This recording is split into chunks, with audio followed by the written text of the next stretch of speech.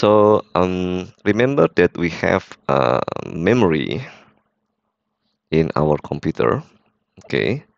And any data or application they will put in the memory, okay? That we have what we call this as a stack, all right? And in this stack we have an address, okay?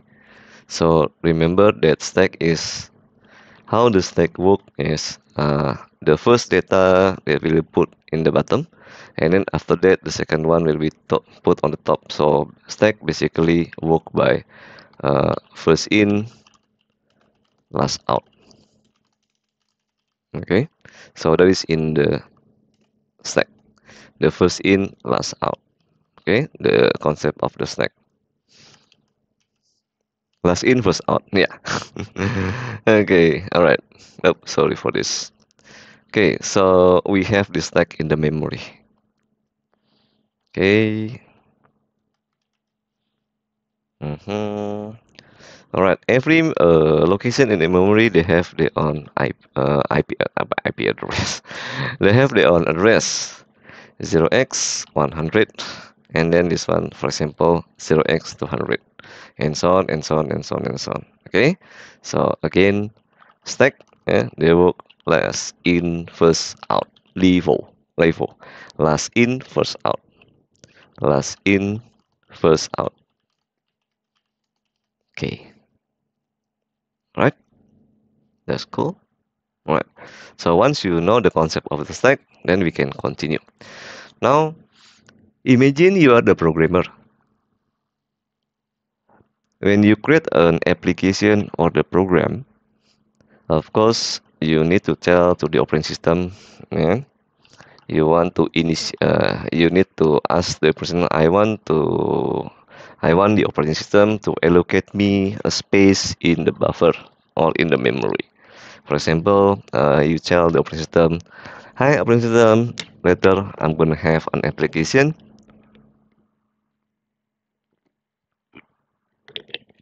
And that application I need a space for my um, okay what kind of application do you want? Uh, login screen. Okay for example authentication screen. So um, this is just a pseudo programming. You can use any other uh, language but this is just uh, the flow of the application.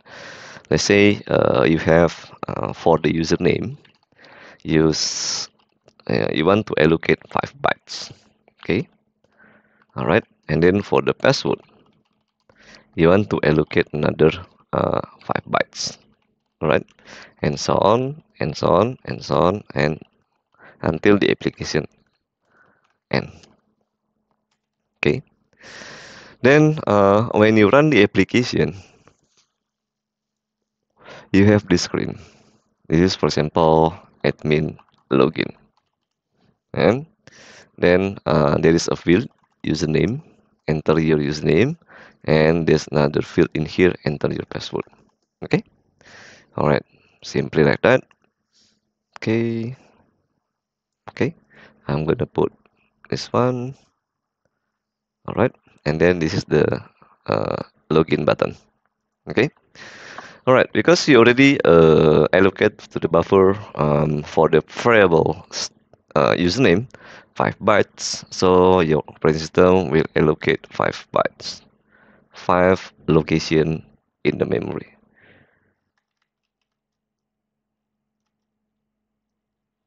Okay so this one is for the username and this one is for the what? Password. Okay right so when the user they enter the password the application is running. For example like that when a user press enter this string bly we go to this location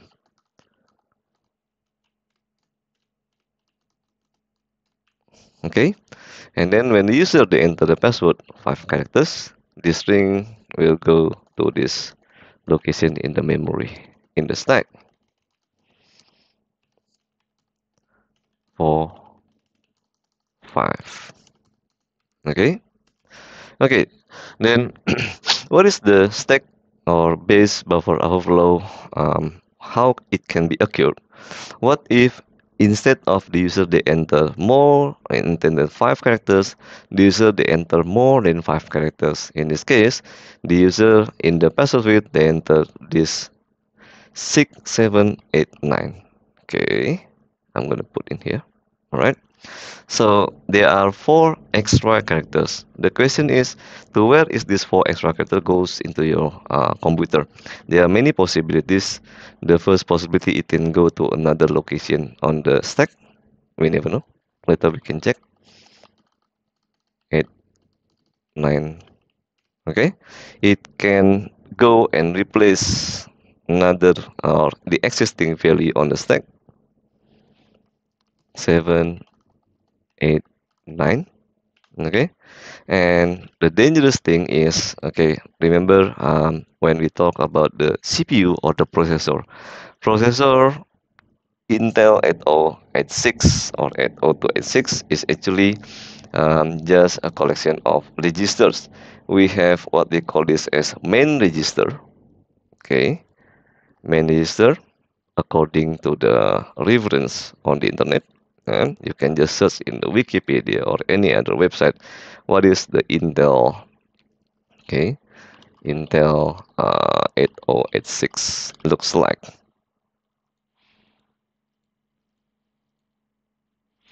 Okay. And Intel is the microprocessor. 8086 is the 16 bit and in the processor itself wow that's why it's called chip. In the processor itself um, we have main registers AH and AL or basically AX this register is used to do uh, primary accumulator. This one is base accumulator again. This is for counter accumulator or basically the main register is to do uh, arithmetic uh, calculation okay?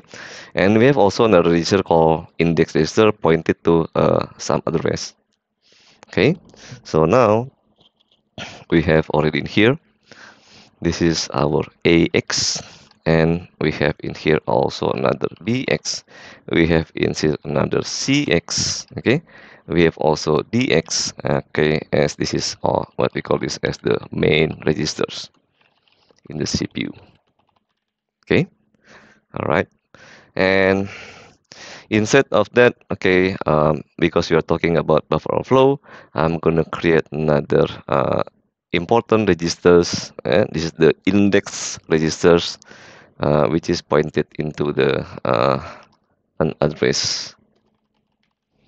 Okay so um, in this uh, buffer overflow concept we have two important register IP instant pointer and stack pointer. Okay the function of IP is to tell to the CPU the next memory location. The function of stack pointer is to tell to the CPU uh, to the next memory location that is pointed to the stack. This is called stack pointer. This one is instant pointer. So instant pointer is to tell to the CPU what is the next uh, instruction in the memory that CPU must go and must execute the uh, instruction. All right. Yeah, so if let's say this is the CPU, so you need CPU need to know, okay, I need to go to the next address. All right. Okay, I will go back again to the condition of buffer overflow. In some case, the dangerous situation is if our extra characters can go and replace uh, a value in the main register, it can go here. Okay, so our six 7, 8, 9 will go here or the more dangerous thing is it will go to here okay? Alright so this is actually uh, if you know uh, 6, 7, 8, 9 will go to the instant pointer then our CPU will look at this. CPU will think after that okay yeah uh, I will go to address 0x6789 and execute the code in there all right so this is the function of instant pointer.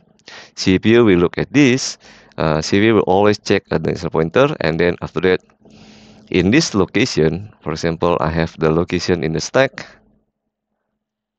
Okay. Mm -hmm. and exactly on this address let's say this is the address 0x6789 and here is our what?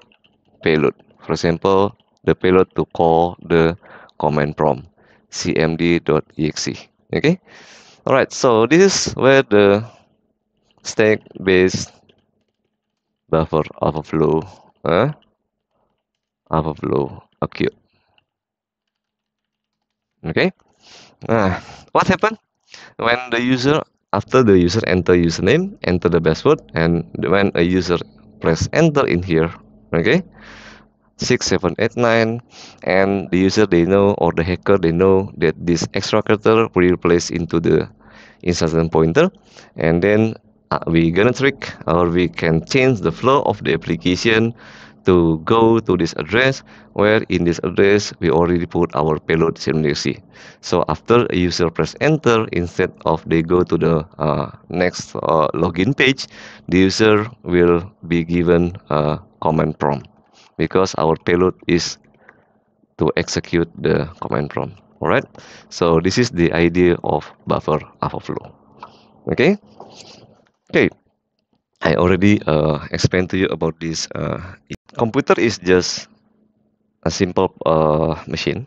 They process your input. Process can be from keyboard, mouse, or any other input devices, and then it will be processed in the CPU and then uh, the output can be to the monitor, storage, hard drive, and RAM.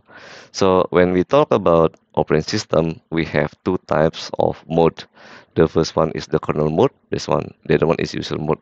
Okay, if we can draw um, just a simple diagram like this, we have hardware. Uh, and then uh, in this hardware, we have keyboard, mouse, CPU, monitor, and any others and who control and manage all the communication between this hardware is our kernel kernel is the heart of our operating system. Then we have driver library service .sys and any others.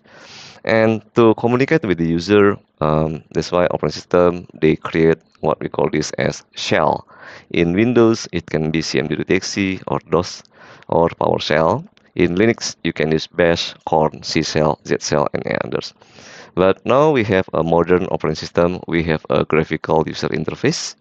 Or basically, the, this one is in ring number three, the uh, the, the, the outer ring, uh, which is where we as a user communicate with this uh, user interface. In Windows, the GUI is called Explorer.exe or Metro GUI. In Linux, there are a lot of options. You can use KDE, GNOME, Mint, or any others. Okay, uh, not only that, and this kernel also uh, responsible for the to give the permission who can access the hardware. Can you imagine if there is no uh, control to for the uh, who can uh, access to, to the hardware, who can access to the processor, who can access the RAM and any others. So there will be no um, authorization. Can you imagine if anyone can write directly to the monitor can write directly to the RAM, can read delete the data in the hard drive so it's gonna be a mess. So that's why in the uh, this the operating system um, ring uh, security layers you are the administrator in here. You are connecting or uh, interacting with the GUI user also interacting with the GUI and when you click something on the uh, window like this then uh, the GUI will send a command to the shell. Shell they have a basic built-in function to send uh, to call the function into the kernel. And kernel will uh, arrange or manage how to react how to um, how to do uh, when user click on this file menu, open a file and something like that, and we'll send back to the uh, user, right? So this is the basic concept of operating system, and that's why in the exploiting um, last time when we learn about when you learn just now, for example, you are exploiting MS09050, you are exploiting the SMB service for 5. So when you are exploiting the service, service is running in the kernel mode. So that's why you will get anti-authority system or your privilege is even higher than administrator. Compared to when we learn about uh, client-side attack, when you use a browser, when you click in the link, for example, HTTP 192 or 1.1.1 slash click on this link.html, and then the exploit is exploiting the browser but because the browser is running in the user mode so the privilege is depends on who run this browser. If the administrator run the browser so you are uh, your privilege will become as an administrator. If the a user normal user run uh, or click on this link the privilege of the hackers will be is this normal user so that's why they must do what we call this as privilege escalation to become an administrator or to become even a kernel mode NT auto system in windows right? Now uh, to create a proof of concept or to show you how the operating system works and how is the value on the registers in the CPU, uh, what is the value in the main register, what is the value on the index uh, registers in the instance pointer, in the stack pointer. We're gonna try to create a small application using assembler language. We are going to create an application by directly calling the function in the shell and then the shell later on will communicate directly to the kernel and then we want to see also how the value on the CPU or register or even in the memory how it works. Okay we're gonna create a simple application in here. Okay so I'm gonna uh, use a notepad in here. Okay so we're gonna create a simple application yeah? Uh, simple uh, simple application but by uh, directly call the function uh, call the main function uh, in the operating system uh, and uh, try to uh, and also try to look look at the value the value in the in the processor processor register. Okay? So if you want to write a simple application for example I just want to write a simple application okay what is this application that I want to write? I just want to print an A letter eh, to the screen okay? That's very simple okay? Uh, what is the normally if you use C for example you can simply you can just use print function. Print F that's it. And then you can print that A letter to the screen. Because why? Print F, print function, this one is the in the uh, C is considered a high level language or medium uh, medium level language. This is the instruction that is easy to read or easy to understand by a human. Print function A, that's it. Okay, but actually this function is not as simple as that. This function is actually, if you look at the assembler code, a machine code, it involves a lot of lines, right? So in here, I will show you first how to write this one eh, by using, by directly call the main function in the operating system, okay? Okay, so first, the first step is um, we need something uh, to view, uh, to look at the memory and to monitor uh, and to access uh, and uh, we need an application uh, that that enable us to access directly to the processor or to the memory. So if you use Windows, you can use built-in tools like for example debug in here. So I'm going to use debug. Okay, debug. All right. Debug is the built-in utility in Windows where you can see um, the value in the register, the value in the memory, or even you can write a simple assembler code. Okay. Okay. In this debug, if you want to see the um, current value in the register, because we open the command prompt, remember that Windows is the protected memory allocation. When we talk about memory mapping, uh, when you open this Windows uh, cmd.com, yeah, it will create, it will allocate a virtual memory in your operating system. Okay, you can use R like this, and you can see here we have AX uh, 00, BX is still empty, CX is still empty, DX is still empty, and stack. Uh, this is important SP, the stack will be point to the FFEE and any other. But as uh, in this buffer overflow, we will focus only on this one, two, three, four, and then stack pointer and instance pointer. Okay. All right. Okay. So um, we can go back to our diagram in here just now. All right. So uh, everything is still empty. okay I'm gonna delete everything in here. So this is in our stack. And if you look at this why it's called AX is because we are in the 32-bit um, operating system. Okay so it will be divided into two parts. We have A high. So this is the high part and this is the low part.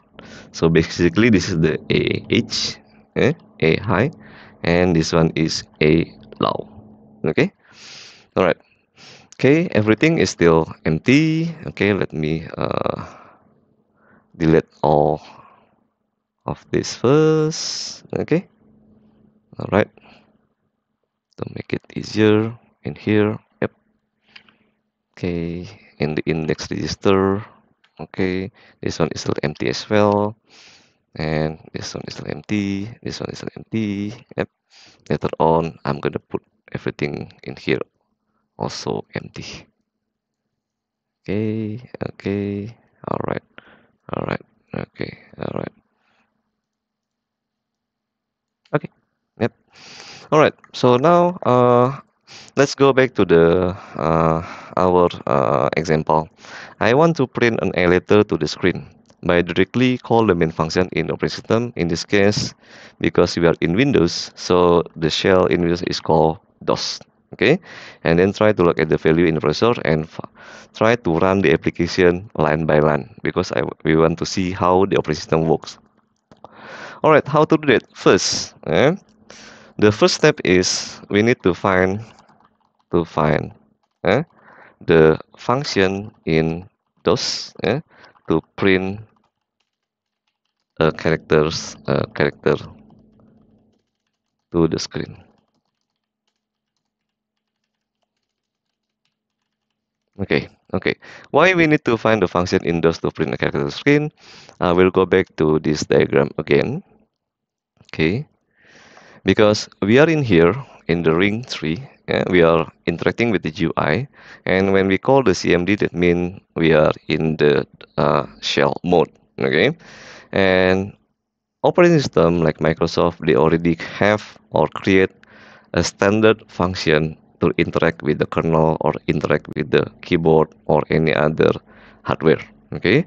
So that's why uh, depends on your operating system. Is this is Windows eh, and yeah later uh, if we have time we can talk in Linux as well okay? If this in Windows so because Windows is based on Microsoft DOS we need to find a function in Microsoft DOS eh, in Microsoft DOS how to print a character to the screen. Simple. You can just uh, search in Google eh, the MS DOS uh, is called interrupt Okay, MS-DOS API or interrupt is the most call of the DOS API invoked by software interrupt. And if you look at this, there are a lot of interrupt. Okay, uh, interrupt used by DOS. The following is the uh, most commonly uh, interrupt by used by program to invoke the DOS API function. For example, DOS interrupt number 20 hexadecimal is to terminate the program, and DOS interrupt number 21 is the main DOS API okay and we have also another DOS uh, function call okay the most uh, or the main interrupt for the uh, standard input and output is DOS interrupt number 21 okay so let's try to look at the DOS interrupt number uh, 21 hexadecimal and then you can see in here um, some uh, there's a lot of reference. DOS interrupt 21 hex is a DOS function code okay all right this is a standard API eh? this is the main standard input output okay as you can see in here we found that we can use those interrupt number 21 so we will take a note eh, in here okay so we need to find okay we can use uh, DOS interrupt number 21 hexadecimal but uh, what is the function number yeah the function is the uh, the function to print a character to the screen. So if you look at this, there are a lot of um, function. For example, those function interrupt 21 hexadecimal function number 01 is to read the character from standard input or standard input, to write character to the printer, direct character read no echo, write string, and another. As you can see here, all of this is just a basic input output yeah, to the monitor or even to the drive or even to the yeah to write a file close a file create a file and any others. Okay the one that here we are looking for is this one those interrupt function number two is to write character to the standard output. In this case our standard output is our monitor. Okay so we managed to find uh, to get the function number. We can write in here function number uh, 02 okay hexadecimal. All right. Okay but before we can call the function we there is uh, some um, requirement. If you want to write character to the standard output you need to enter or uh, insert the character to write into the D low register so okay so the requirement is like this yeah. okay first all right you need to put uh, you need to insert the 02 the function number into the AH register AH yeah. so basically we can put in like something like this yeah. insert this value 02 to AH registers okay and then after that we can insert. Okay? And then after that uh, we can insert or fill in the uh, character to write eh?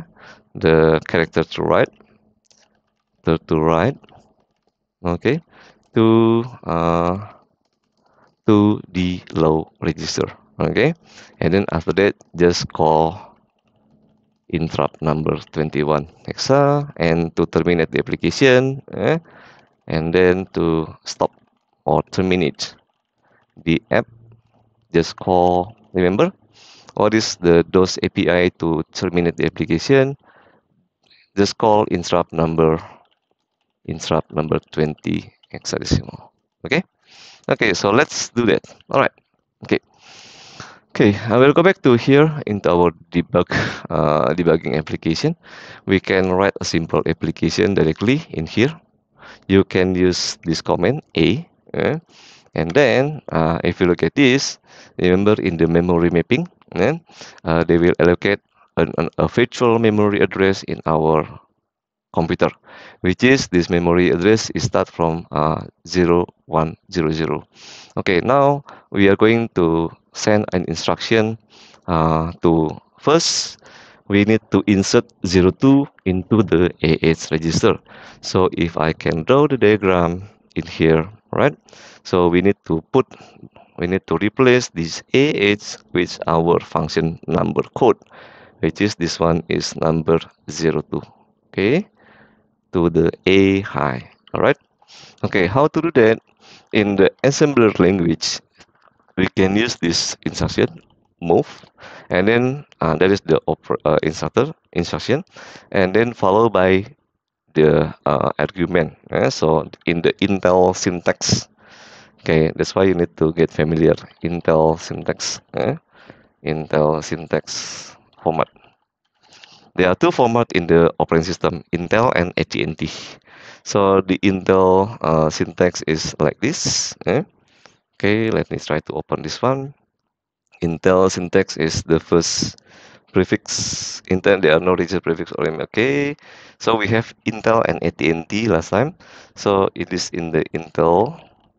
If you want to insert a value in a register first is this one is the instruction and this is the register and this one is the value. In the AT&T is uh, the, uh, the, the, the uh, what another uh, different uh, way. You uh, put the instruction in here direction and then after that uh, this one is the value and this one is the registers. Okay. Anyway don't get confused with this. We are uh, in the intel processor. Okay so the instruction is move and then uh, we we're gonna insert 02 into ah so move ah 02 eh? Move 02 the value first and then into ah okay? When i press enter oops sorry move 02 and then ah yes correct. Oh let me check.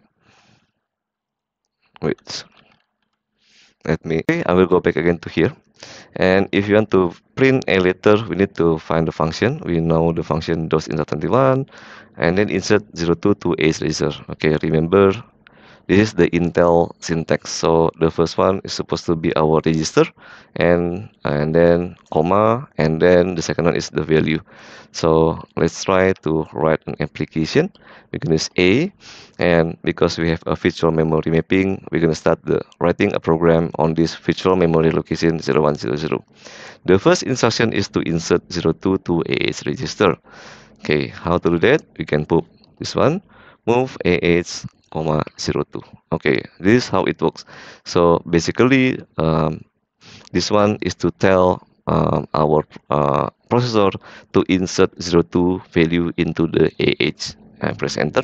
Okay when I press enter if you look at this we jump two bytes because this one bytes this one is another one bytes. Okay so this is the instruction and this one is the uh, value. All right okay according to this reference yeah, operand operand and after source destination. Look at this. The operand instruction destination and source eh? so the other way around in the intel syntax all right okay yeah, or memory operand there are a lot of operand. This one prefixes move ax with 01 that means 01 will go to ax so just now when i move ax with 02 that means uh, in the memory it will become like this.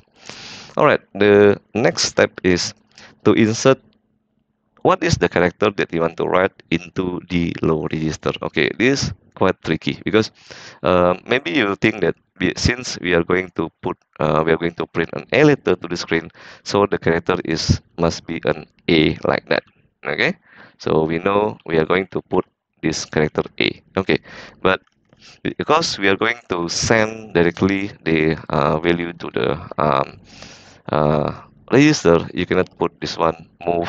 Like for example I want to print this A to letter. Okay. Our computer they only know they don't know the letters characters or any other they have a special code yeah, for the characters. It's called ASCII code. So they don't know what is the A or capital A yeah, it's a different with the lowercase a. So long time ago uh, before we have a graphical user interface we have uh, what we call this as character encoding. I'm sure you remember about this ASCII encoding eh? ASCII is the American standard. Mm -hmm. American Standard Code for Information Interchange is the character encoding standard for electronic communication or ASCII encoding. All right. If you look at the ASCII table, okay, there's a lot of ASCII tab table, and then yes, we can see here a lot of ASCII table. Uh, which one? Uh, okay, image. All right. Oh, I'm gonna click in here. ASCII table character codes. All right. Okay, so um, last time because there's no graphical user interface so we need to have a mapping for all of the uh, characters into the ASCII code.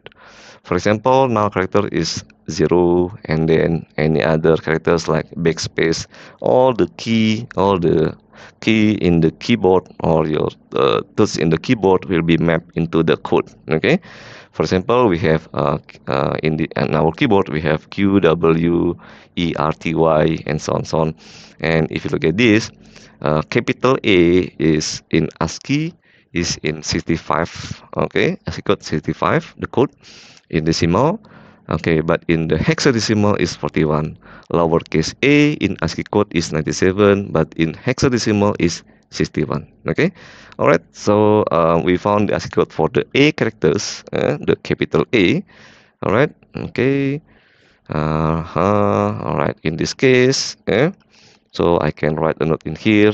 A characters capital A is 65 in decimal and then because we are in the hexadecimal um, it is the value is uh, 41 okay so the next step is you need to insert the character that you want to write to DL so DL uh, will be filled in with 41 which is 41 is our A or capital A.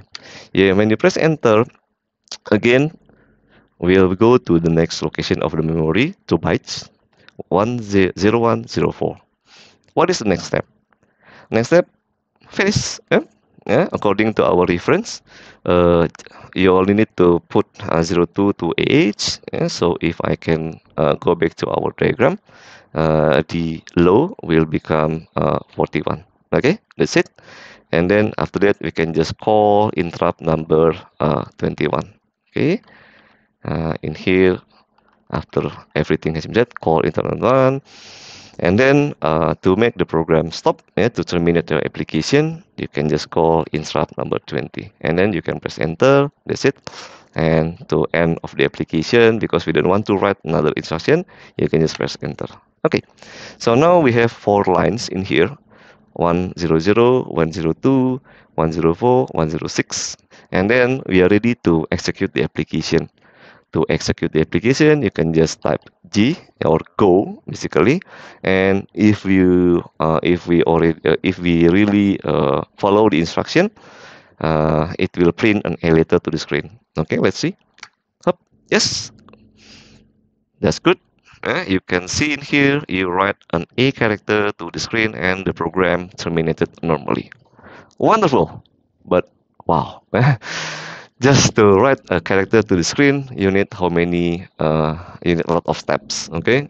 Uh, compared to if you use a C language or a high level language like Visual Basic or Pascal, Delphi or Python very simple. But in the assembler you need to do step by step yeah? because remember our register is very limited. You need to tell the register uh, the CPU step by step. Okay but First, okay, uh, just now I show you how to directly write into the register. And secondly, here I want to show you how if you run this application line by line. Because I want to see, I want to show you how the value in the registers changing when you run this application line by line. Okay, how to do that? You can use T. Okay, if I press T in here, it will execute the first instruction in here. Enter look at this yeah move AH02 that means 02 will go to AH and then you can see here AX yeah? this is the A high registry 02 the low part is still 00 BX CX and any other is still 0 and then SP to this one. And look at this the instant pointer. Okay okay this is the important part guys. Uh, when we talk about buffer overflow exploitation the basic of the stack-based buffer overflow is from here you can see that who control the application okay? If I press T again eh, how do our CPU how does the CPU knows that they must in they must go to this instruction okay? They must execute this move DL41 remember okay? Who in the CPU yeah, what is the register in the CPU who will tell the CPU to go to the next location on the memory and then execute the instruction there? Okay CPU basically will look at the value in the instant pointer and execute the instruction on that location. So that's why in here you will see instant pointer is pointed to 0102 so CPU will execute this one. So if I press T again the value of D L D low will be changed to 41 I press T T is stands for trace. Yeah, so we're gonna execute the instruction line by line. Then you can see here AX is 02 and DX is 41 and yes I'm sure you know if I press T again what is the next address?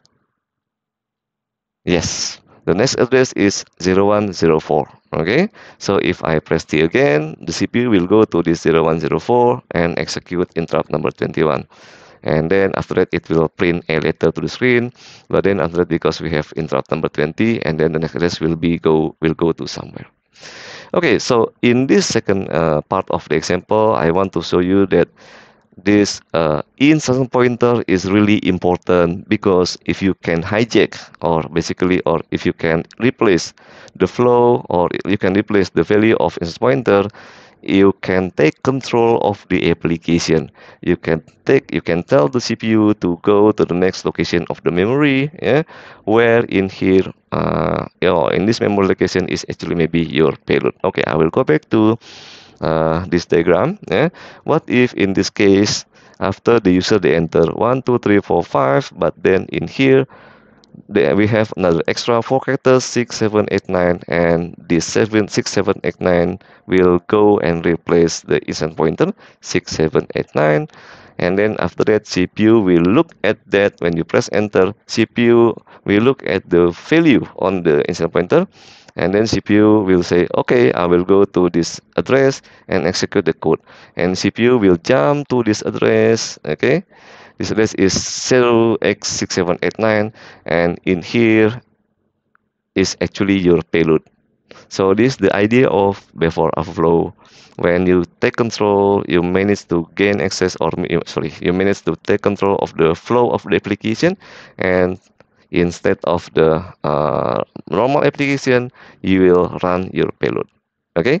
So this is the idea of uh, buffer overflow uh, the basic uh, concept of buffer stack based stack based buffer overflow uh, or overflow overflow uh, is okay? If you can replace uh, the inside pointer uh, with the address with the address of your payload okay. All right so from here i hope all of you guys understand the basic concept of buffer overflow but the next question is later on what if in the real world and how to find how many byte before it's overflow and how to put our payload in here? Okay Okay, now what if uh, in the real world, eh, how if we want to do vulnerability research, and then how if you want to uh, debug the application to find the hole, to find the problem, and until you can write your own exploit code. Okay, so I'm gonna draw another diagram in here. Eh? So let me try in here, right? The basic concept of this one you know already. If you can replace that one, right? Yeah okay so in here I'm gonna change this to the diagram like that. Okay all right we have we still have index register and so on. Ah okay better I so what if in the real world uh, okay I'm gonna draw a clean diagram uh, so we know already the basic concept. So let's say we have two machine in here. The first machine is the researcher machine okay? So this is the researcher machine okay? Is the researcher. Right? And the address of the machine is 192.168.100.99 and then the other machine is this is uh, a, a feature machine which is we have already installed a small application okay? this is the uh, another machine uh, or basically this is target machine or this is the target. I put under quote because we don't know yet maybe this is real target or because we are doing reverse engineering there's a lot of possibility that it doesn't work because why? Maybe the application is not vulnerable. So that is the problem not problem obstacle in when you do a vulnerability research. You need to have really a lot of times and you need to be um, really uh, details eh? and sometimes after you spend one week or two weeks and suddenly uh, then at the end you end up with there's no vulnerability. That's the risk. If you can get the vulnerability uh, then you can report to the uh, vendor then you can get the reward. Okay. In this machine I have a researcher machine. I use I purposely use backtrack because it's simple small uh, and the IP address of this machine is uh, okay right you can use Kali Linux you can use Parrot or Princeton it's up to you yeah as long as you have enough memory. But this backtrack uh, is just uh, just small uh, that's why I use this one. The size yeah, the of this machine is only uh, if you look at this uh, yep. This one is only uh, 700 megabytes okay. And we have a target machine in here. And this in this target machine uh, the IP is 166 uh, I have one I have already download one of the an example. Actually there's a lot. You can look at exploit DB you can download uh, some example. For example uh, from the exploit DB you can search any uh, if you want to create your own if you want to learn you can search any uh, exploit okay like this one or you can search buffer overflow overflow and then yep look you can see. In here this is the latest one crossfire 190 remote overflow uh, found by these guys and this is tested in Kali Linux. So this is Linux based buffer overflow if you want to see there's so many then you can just uh, the good things from this website is you can download uh, you can download the exploit code or you can download even the vulnerable apps in or in here unfortunately they don't give you the link of the vulnerable application. I will show you another one uh, mini web HTTP server buffer overflow of concept. Oh okay. All right. Anyway in here I use a mini share and this is easy to understand. Uh, mini share uh, remote buffer overflow okay. For example this one. All right. Maybe this is good. Mini share remote buffer overflow you can click in here eh, to download the mini share application. And uh, in here this is some explanation. And this is a shell code and any other code code code which is okay what is this? Yeah don't worry guys. We are going to learn about this okay? So that is how uh, if you want to learn or if you want to do your own research okay? Uh, what about this one? Mm -hmm. Exploit mini share program file. This is uh, written in C. Okay I'm gonna show you using Python easier. Okay I have already mini share application in here. So um, I have a mini share which is mini share is um, okay if you googling what is mini share okay mini share is the file transfer protocol. Is uh, mini size file transfer APK mini share Windows mini share is the file sharing that they use uh, uh, if you look at this ultra light file transfer application in Windows. And this mini share application uh, installed in the PC free developed by this one. Okay and okay you can install mini share and then after that you can have your small web server. Okay I have two machines here this is server machine and target machine and I have run one of the vulnerable server in here mini share look at this. This is a mini share web-based file application uh, sharing uh, application okay?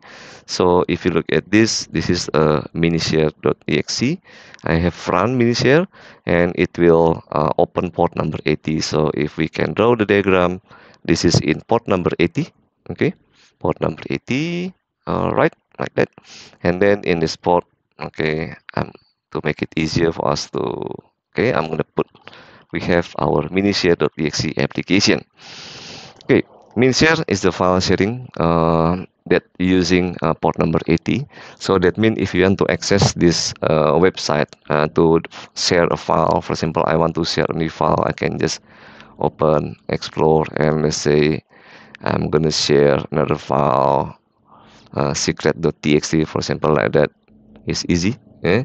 Just uh, click okay drag and drop and then I will uh, so all the file that I put in here will be shared by using a website okay you can check whether your mini share is up and map 1 and 2 16800 dot uh, 6 okay we can see and map uh, you can try remember we need to find the entry point. And in here um, later on you should see that you uh, okay let me check in here. Host only host only. Okay yep. You will see that there is one port is open port number 80 TCP open HTTP and then we can try to do service binary grabbing minus SV in port number 80 okay. 192.16800.66 enter. It will try to do service binary grabbing to find out what is the service running on that port okay? So here we can see just wait for a moment. It will uh, give you the banner uh, what is uh, running on that port all right in reverse engineering you need another a lot of tools. Just two tools actually yeah? uh, the other tools is you need to run also uh, wireshark because we want to see the traffic yeah, that is going in or uh, sent out from this uh, machine okay? So that's why the importance of uh, wireshark in here. You can also see the traffic okay? Look at this. This one is still scanning. I'm going to capture the interface. Okay start this interface. All right then you can see all right a lot of traffic in here. Look there's a port number 80 80 80 and so on and so on and our nmap will try to check on the port 1 and 2 and see 100.66 okay anyway um, while it is scanning because we know port number 80 is open so port number 80 is a web server. So how to open the web server? I will go back to the diagram in here. You can just use your what? Browser eh? a web browser okay because browser will open port number 80 so you can just uh, open the browser and then open this address http 192.168.100.66 okay? And then it will connect to this port. All right it will generate the three-way handshake first. Okay? So now I will open uh, Firefox for example like that and try to look at this. Okay this one is still scanning I will stop scanning it's okay no problem all right and then let's try to open that port uh, this is the interesting part guys I want to see as well in here Mm -hmm. Okay. Let me resize the window so you can see this uh, more better, more clearly. Okay. All right. Okay. Yeah. I'm gonna restart capturing again because I already get a lot of traffic. And then let's try to open that window, open that uh, website. Okay, enter. Yep. All right. Uh, because this is HTTP you can see in here yep the first few lines in here okay SYN SYN-ACK acknowledge eh, there is a traffic from our researcher machine 99 to 66 uh, to port number 80 SYN SYN-ACK acknowledge. And then look at this because it's HTTP so the next step after the three-way handshake the next step is uh, HTTP protocol. HTTP followed by get slash HTTP slash 1.1 and so on and so on and so on. So that means uh, they are accepting HTTP traffic. So while waiting in here we can draw the diagram after they create the three-way handshake in here and the first three-way handshake the first one is three-way handshake. Way handshake in port number uh, to port number 80 okay? And then the first command in here uh, that is sent by the hackers or by the receiver machine is the get protocol all right okay all right to make it easier in here I'm gonna put right like this eh? So the diagram is gonna be like this. Okay this is a three-way handshake to this port and after that you should see this command okay get slash all right http slash 1.1 enter. Okay. All right okay and then oh this one is still loading. Let me check in here.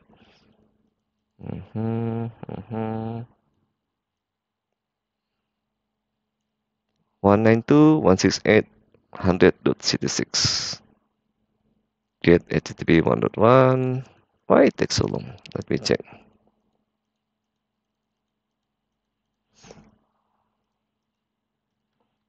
Ping 192.168.100.66 yes I can ping. And this one okay let me refresh again. Mm -hmm. Yes I can get look at this. Get 192.168.100.1 request method get. Request URI okay. Anyway it is not supposed to be this long. Okay anyway uh uh oh what is this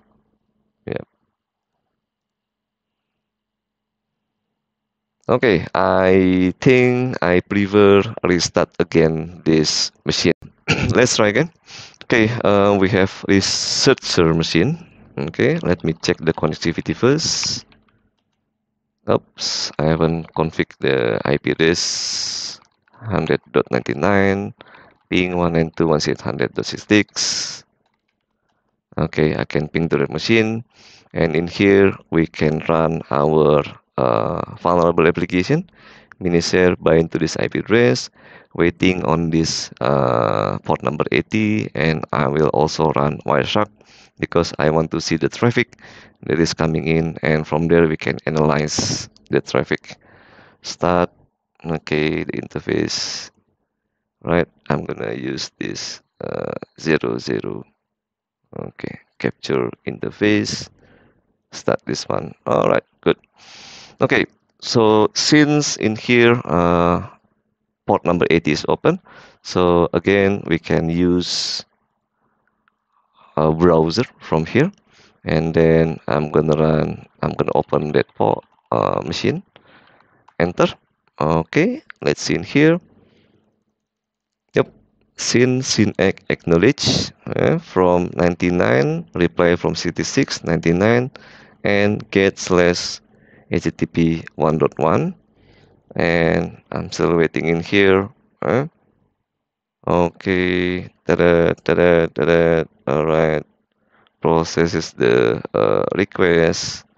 And yep okay we already get uh, we have another uh, request in here.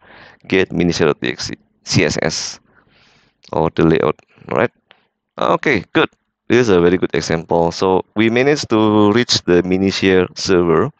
So that means uh, just now according to our analysis in the traffic you can see what is the first traffic. This is the sin sin acknowledge and this is the first http conversation. Using wireshark you can click in here follow tcp stream. Then this is the request and this one is the reply. And so that's why you can get this uh, screen from the researcher machine. The first instance is get is slash http slash 1.1 okay? So this is a very good example. That means your mini-share application is running well waiting in port number 80 and we can connect to port number 80 Next step is we're gonna send a long characters together with this command get and then we'll see what will be happen to our uh, application okay? You know that all the data will be stored in the stack. All right okay. So instead of I'm gonna send get slash http 1.1 we are going to change this okay? We're gonna do fuzzing okay? We're gonna send this time I'm gonna send get and then followed by long A, A, A, A, A, A. Okay, how many A, A, A is up to you. Uh, you can start with 1000 A, 2000, 3000, 4000, 5000 is up to you. Okay, but in here I'm gonna send A, A, A for how many bytes? 2000, 200, uh, 220 and followed by the HTTP slash 1.1 okay so what is the purpose of this fuzzing is i want to see what will be happen in our application if we send along of a a a a to port number 80 all right so this is called fuzzing okay? So now uh, we can uh, i have uh, uh, this one in here. This is called uh, normally you will create a skeleton script yeah, a skeleton of the script yeah, of the buffer overflow which is uh, in here we will write step by step. First start from fuzzing and then finding the offset and then after that uh, calculate the offset and then after that you set up the payload. So in here I have in uh, a skeleton script okay, an example of empty script okay. Okay you can see from here mini exploit 1.py all right the one thing that I like from Python and why uh, Python is now becoming very popular is because it's easy to create a client server or internet based application because the modules or the library they have all the library to create a, a what you call this internet based TCP IP based application. Look at this user bin Python and then you can just import socket. If you C or any other language, maybe you need to uh, you need to include a lot of library like uh, Wins, uh, uh, header, uh, and any other at least five library from mistaken. Okay, as you can see in here, the uh, source code is very simple. I'm sure you can understand target address is our uh, mini share.exe server, yeah, 192.168.166, and port number, target number, uh, port 80, very simple, uh, look at this. And then this is our evil buffer, uh, it's called evil buffer because we are going to send a long of buffer, get space followed by, remember what is a character in the hexadecimal? It's 41. And in here, I'm going to send 2220 characters and don't forget follow by uh, closing uh, HTTP protocol HTTP slash 1.1 and then this is the carriers return get return or basically if I put the comment in here or remark I'm going to send an A A A A A A for how many bytes? 2220 okay why I put 2220 bytes? Later there will be a reason for that okay and the next step is uh, you can uh, open the socket, uh, call the socket function, socket, okay, blah, blah, blah, and uh, create a connection to that socket. And remember what is socket? Socket is a combination of target address and target port. Yeah? So we're going to open the communication three-way handshake and then after three-way handshake is established we are going to send through that communication channel uh, to the established communication channel port number 80 send the our buffer get and so on and then just close the application terminate the connection. So now we can try to send again. Uh, i'm gonna use python in here. Okay dot slash mini exploit. One dot py. All right but before i send this eval character uh, we are going to restart again capturing because I want to show you what will be sent. And we need to check is it really true that we are sending a lot of AAA to the remote machine? Okay I'm gonna send enter. Okay let's take a look at this. Yep yep yep yep. Okay that's cool. Look in here eh? Is the A, A, A, A, long of A, and let's see what will be happen in the application. I send 2000 AA. Wow, that's good. Eh? All right, if you look at this, we have a problem in here, but this is a good news for us that this application they said Minishare has encountered a problem and needs to be closed. We are sorry for the inconvenience. All right. Okay, why we get this message? Of course, you know, yeah, you understand. There's a problem when we are sending 2220 characters. Eh? It can be yeah something wrong with this application. Okay, uh, Windows is the protected memory uh, operating system. So remember in the memory mapping, so whenever you run one application, Windows will allocate uh, allocate a space or allocate uh, virtual memory uh, for its application. Okay so if the application is crash it won't uh, disturb or it won't disrupt uh, your operating system. So that's why uh, windows s 95 or 98 yeah? When one application crash uh, even uh, it, it won't crash all the operating system. You will never see the blue screen of death anymore okay? So this is called protected memory application. First that is the important thing. Secondly is uh, of course in here eh, when you see the application crash you will be very happy. Only in stack-based overflow or only when you are doing a research like this when the application crash you will be very happy because something wrong with this application. Maybe will jump from the from your chair. Wow the application crash!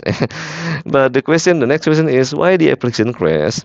Because uh, if you look at this error message okay this is the user friendly error message. This is for the end user. Uh, Microsoft they just tell you that you are in the middle of something and there's a problem with this application then you, there's only two options send the report or don't send the report. Of course this one is not enough information. Uh, we don't know why this application crashed and uh, what is uh, actually happen and behind at behind what is actually happened in the memory and what is actually happened in the processor and so on. Okay so uh, if you want to know why this application crash and this is actually our point our job because we want to see the whole the vulnerability and if we can replicate the crash maybe you can write your own exploit code. Okay so if you want to um, see why the application crash, you need to run the application inside the debugger. okay remember what is the function of debugger? Because we can you can using debugger we can see the uh, the, the, the, the, the, the, the behind the scene. Just now we can get the information that application is crashed and Microsoft or operating system they close the application they force the close the application. But the question is I want to know what is uh, causing the application crash because I just sent uh, so long a characters Okay, a lot of uh, debuggers. You can use a lot of debuggers like IDA uh, debuggers or Emulator Canvas or WinDebug or this one. Uh, one of my favorite because it's simple. I'm gonna use Oli Debug. It's a free debugger in here, so I can use Oli Debug. So I have Oli Debug. Okay, this one is just a small application and it's easy to understand and uh, even the feature is not much but uh, it's enough uh, for you to learn the basic of the basic uh, above flow. All right i already run the Oli debug uh, okay. And because we are uh, going to see what is uh, what will be happening what uh, inside the application when it crashes so we can run or attach uh, the exe file. We can attach the exe file okay? I'm gonna attach this minishare.exe into the debugger. All right before we go uh, uh, to the next step i will explain to you what is uh, the, the, the what the interface of the debugger okay when you load your application into debugger at the first time it will it won't be run. If you look at this it won't be executed it will be paused at the first time. And in here you can see okay this is the sections in the debugger. Most of debugger they have four sections like this. So this is the first sections of the debugger which is this all the instruction in the assembler uh, language until you press play button then your application will be run. And this is the memory address of the first instruction. Remember um, if you click and play it will execute this push add move esi and any other and so on and so on and so on depend on the instruction. And on the uh, right side in here this is the most important one. This is the to show you the value on in the cpu eh? We have EAX, we have CX, we have DX, BX. Oh, but what is this? Why we have EAX? Why we have ECX? Why we have EDX? Because we are in the 32-bit operating system. In the 16-bit operating system, we have AX. If you are in the 32-bit, we have extended EX. If you are in the 64-bit, we have REX. Okay, so that's uh, just a uh, simple uh, difference.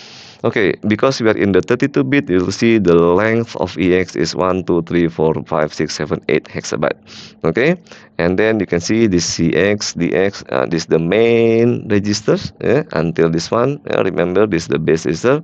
And another uh, important register is this one, ESP, which is this the index register. ESP value is always uh, ESP is always uh, pointed to the value on the stack. So where is the stack? You can look at this. Okay, in this window, this is actually our stack. Okay, our uh, memory, our stack memory. Okay, all right. Depends on the debugger. Okay, uh, if you know the concept, the stack is actually start from the uh, on the top. This is the top of the stack and this one is the bottom. It's supposed to be like that but to make it easier actually this one is the bottom of the stack and this one is the okay so the stack is growth from the top to the bottom okay? But actually in the real world yeah uh, in the real world the stack is going uh, from the bottom to the up okay? All right and then uh, look at this yeah? This the uh yep. Oops sorry. Uh this one yeah? Okay um FPU is a floating processing unit. Yeah, this is uh, in the normal modern uh, CPU. They don't they don't call this. Uh, last time we use CPU and then we have another uh, extended CPU like in the uh, Intel 80386. They have CPU and then they have uh, another MMX. It's called MMX. EFU is for, same like CPU, but they have another extension to do arithmetical calculation. Okay. Now um, this is the location on the stack and if you run the application the stack is pointed to here and look at this this is another important uh, value right EIP. Okay, what is the EIP? EIP is actually the to tell the CPU eh, to go to if you if you execute this application, CPU will go to the address eh, and execute this address uh, in certain pointer okay? So if you look at this EIP is pointed to 00960000 which is this is the mini share module entry point okay all right uh, what is in here? In here is uh, some part of location that you can look at the real memory uh, uh value yeah, in the hex dump. You can look in here this because by default this is the memory location and then this is the value in the memory in this address 0096100 and this one is the instruction. For example if I want to follow uh, the stack in the dump uh, you can click in here follow in dump. So you can see this is the memory location in the stack. Hex dump okay 0023 ffc4 for f blah blah blah this hex dump. Look at this. This is the hex dump right? For F6D for run. Okay, so this space is actually if let's say you want to debug in the next level, in the advanced level of uh, uh, AlphaFlow or research, you will use this uh, very frequently. For example, I want to find out where is my cell code, where is my payload. Yeah, you can put, you can right click in here, for example, and then follow in dump, yeah, like that. Okay, so this is stack pointer, follow in dump, and then this EIP and yeah appearance okay in here i'm gonna follow in them okay all the selection. So this is actually all the instruction. Okay don't worry about it uh, i will try to make it very slow yeah slow uh, not very slow slowly but easy and simple to understand. Okay so at first it will be false and then after that we're gonna run this uh, application. Okay i have this uh, mini share running and attach this uh, IP address and then yes because we want to see in here eh, how we can run how the uh, the traffic coming in and going out then you can uh, restart the capture uh, the traffic capturing and then after that we can resend again our uh, eval buffer so we are ready in here eh? Uh, we already set everything. Uh, our uh, Wireshark ready to capture the traffic, and we already run the mini share, but inside the debugger. And then we're gonna resend again our uh, minisploit one.py, which is sending uh, get a two two two two zero characters. Enter. All right, and then try to look in here. Okay, wonderful. I don't see anything in here yet. I will scroll down. Yep. Da -da -da -da da, yep. All right. Look at this TCP segment get AAA. Same like before, but now we are running inside the debugger and just wait for a moment. Yep. Wonderful. I got the blinking in here. Eh? Why it's blinking? Because we are run this application, execute this application inside the debugger, and the debugger will automatically pause or stop this application because there's a problem with this application. Okay guys, if you look at this, why this application crash, okay, thanks to the debugger, eh, look at this, uh, application is paused, debugger, our debugger automatically close the application or stop the application. And why, the question is why the application crash or pause? Look at this error message first, okay? Access violation when executing 41, 41, 41. Okay, this is very interesting. Eh? Interesting okay? Our apps eh, try to uh, try to execute execute okay?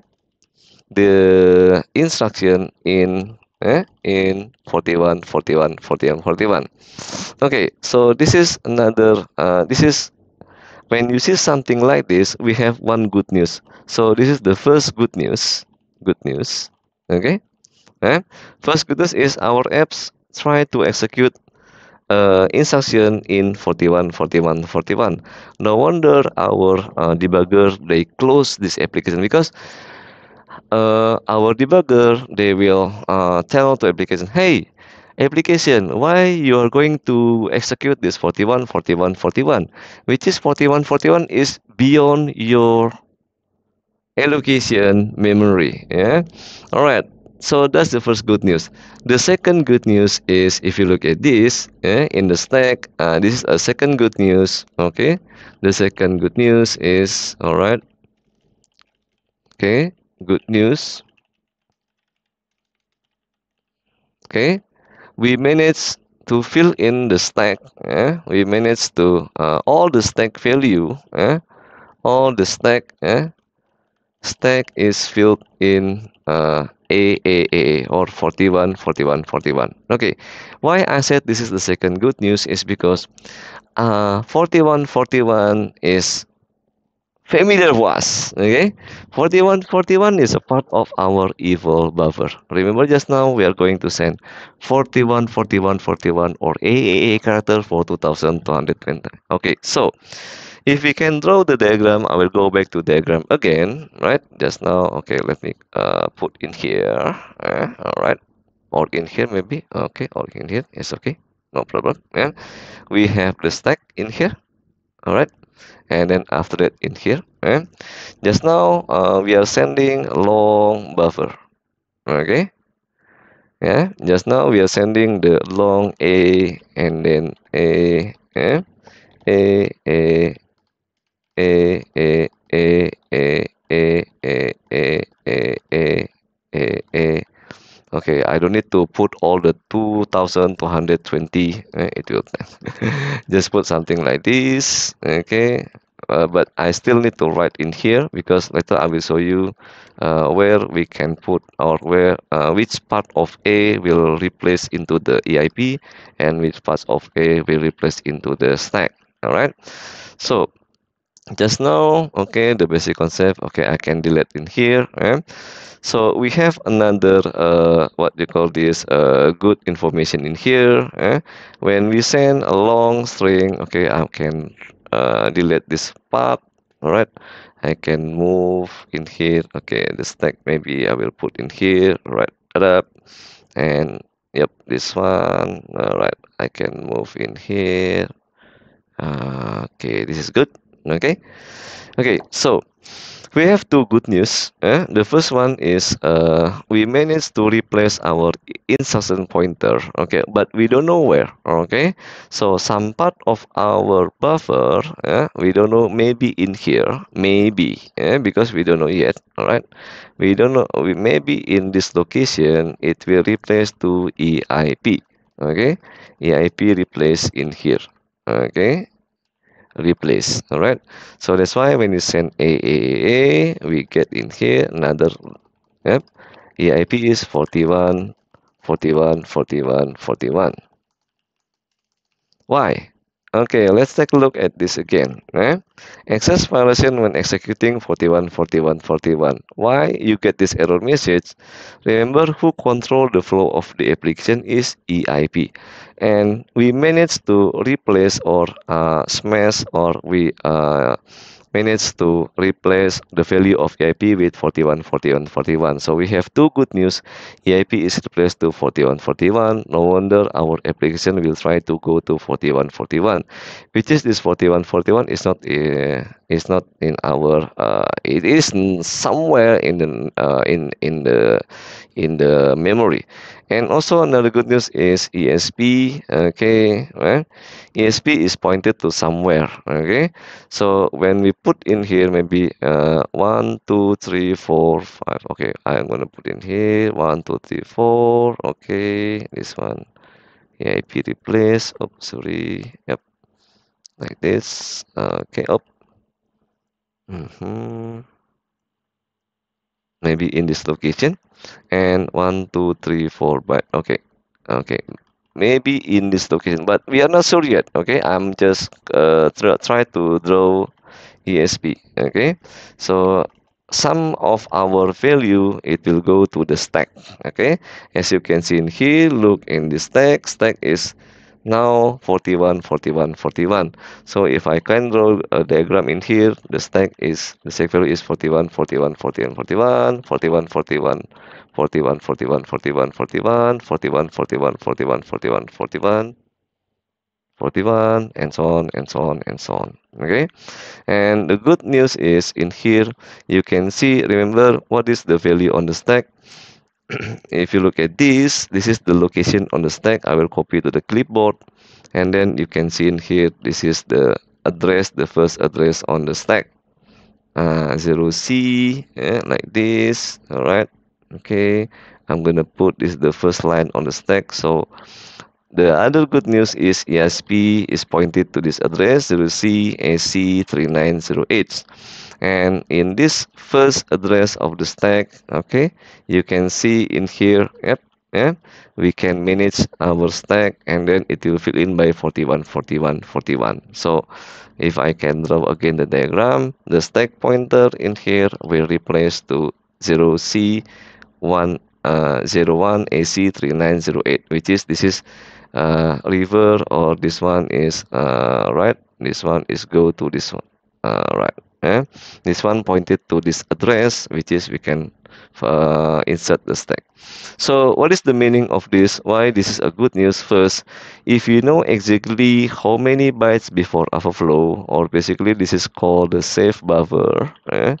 safe buffer all right okay i'm gonna use the small font safe buffer all right okay so normally we can put this the a part okay a part yeah, where we can put the safe buffer and this one is the b part okay where later on we can put uh, something into to replace eip and this is uh, c part okay where later on we're gonna put the payload okay so that's why just now we can uh, our application has been stopped by the CPU eh?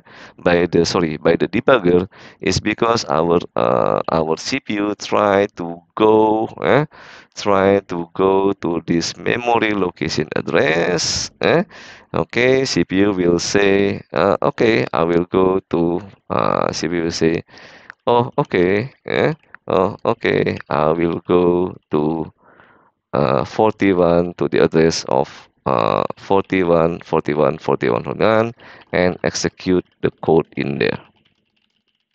Okay, but because 41 is beyond our application, so it will be rejected or it will be crossed by the debugger. Okay, now we know uh, the application interest so uh, now I will try to uh, we're gonna do the next step. All right okay. So we know that our application in here they cannot handle the data more than 2220 so now how many bytes which is actually exactly eh, before the buffer is overflow? Or what is the value or what is the location of this uh, uh, position. Okay because in here later on we're gonna put something to redirect the application to execute our payload in here. Okay there are a few of methods eh, to do to find the correct position of the offset. Uh, the old method last time okay why I said the old method is for example you can do uh, in here. First is you can do splitting okay.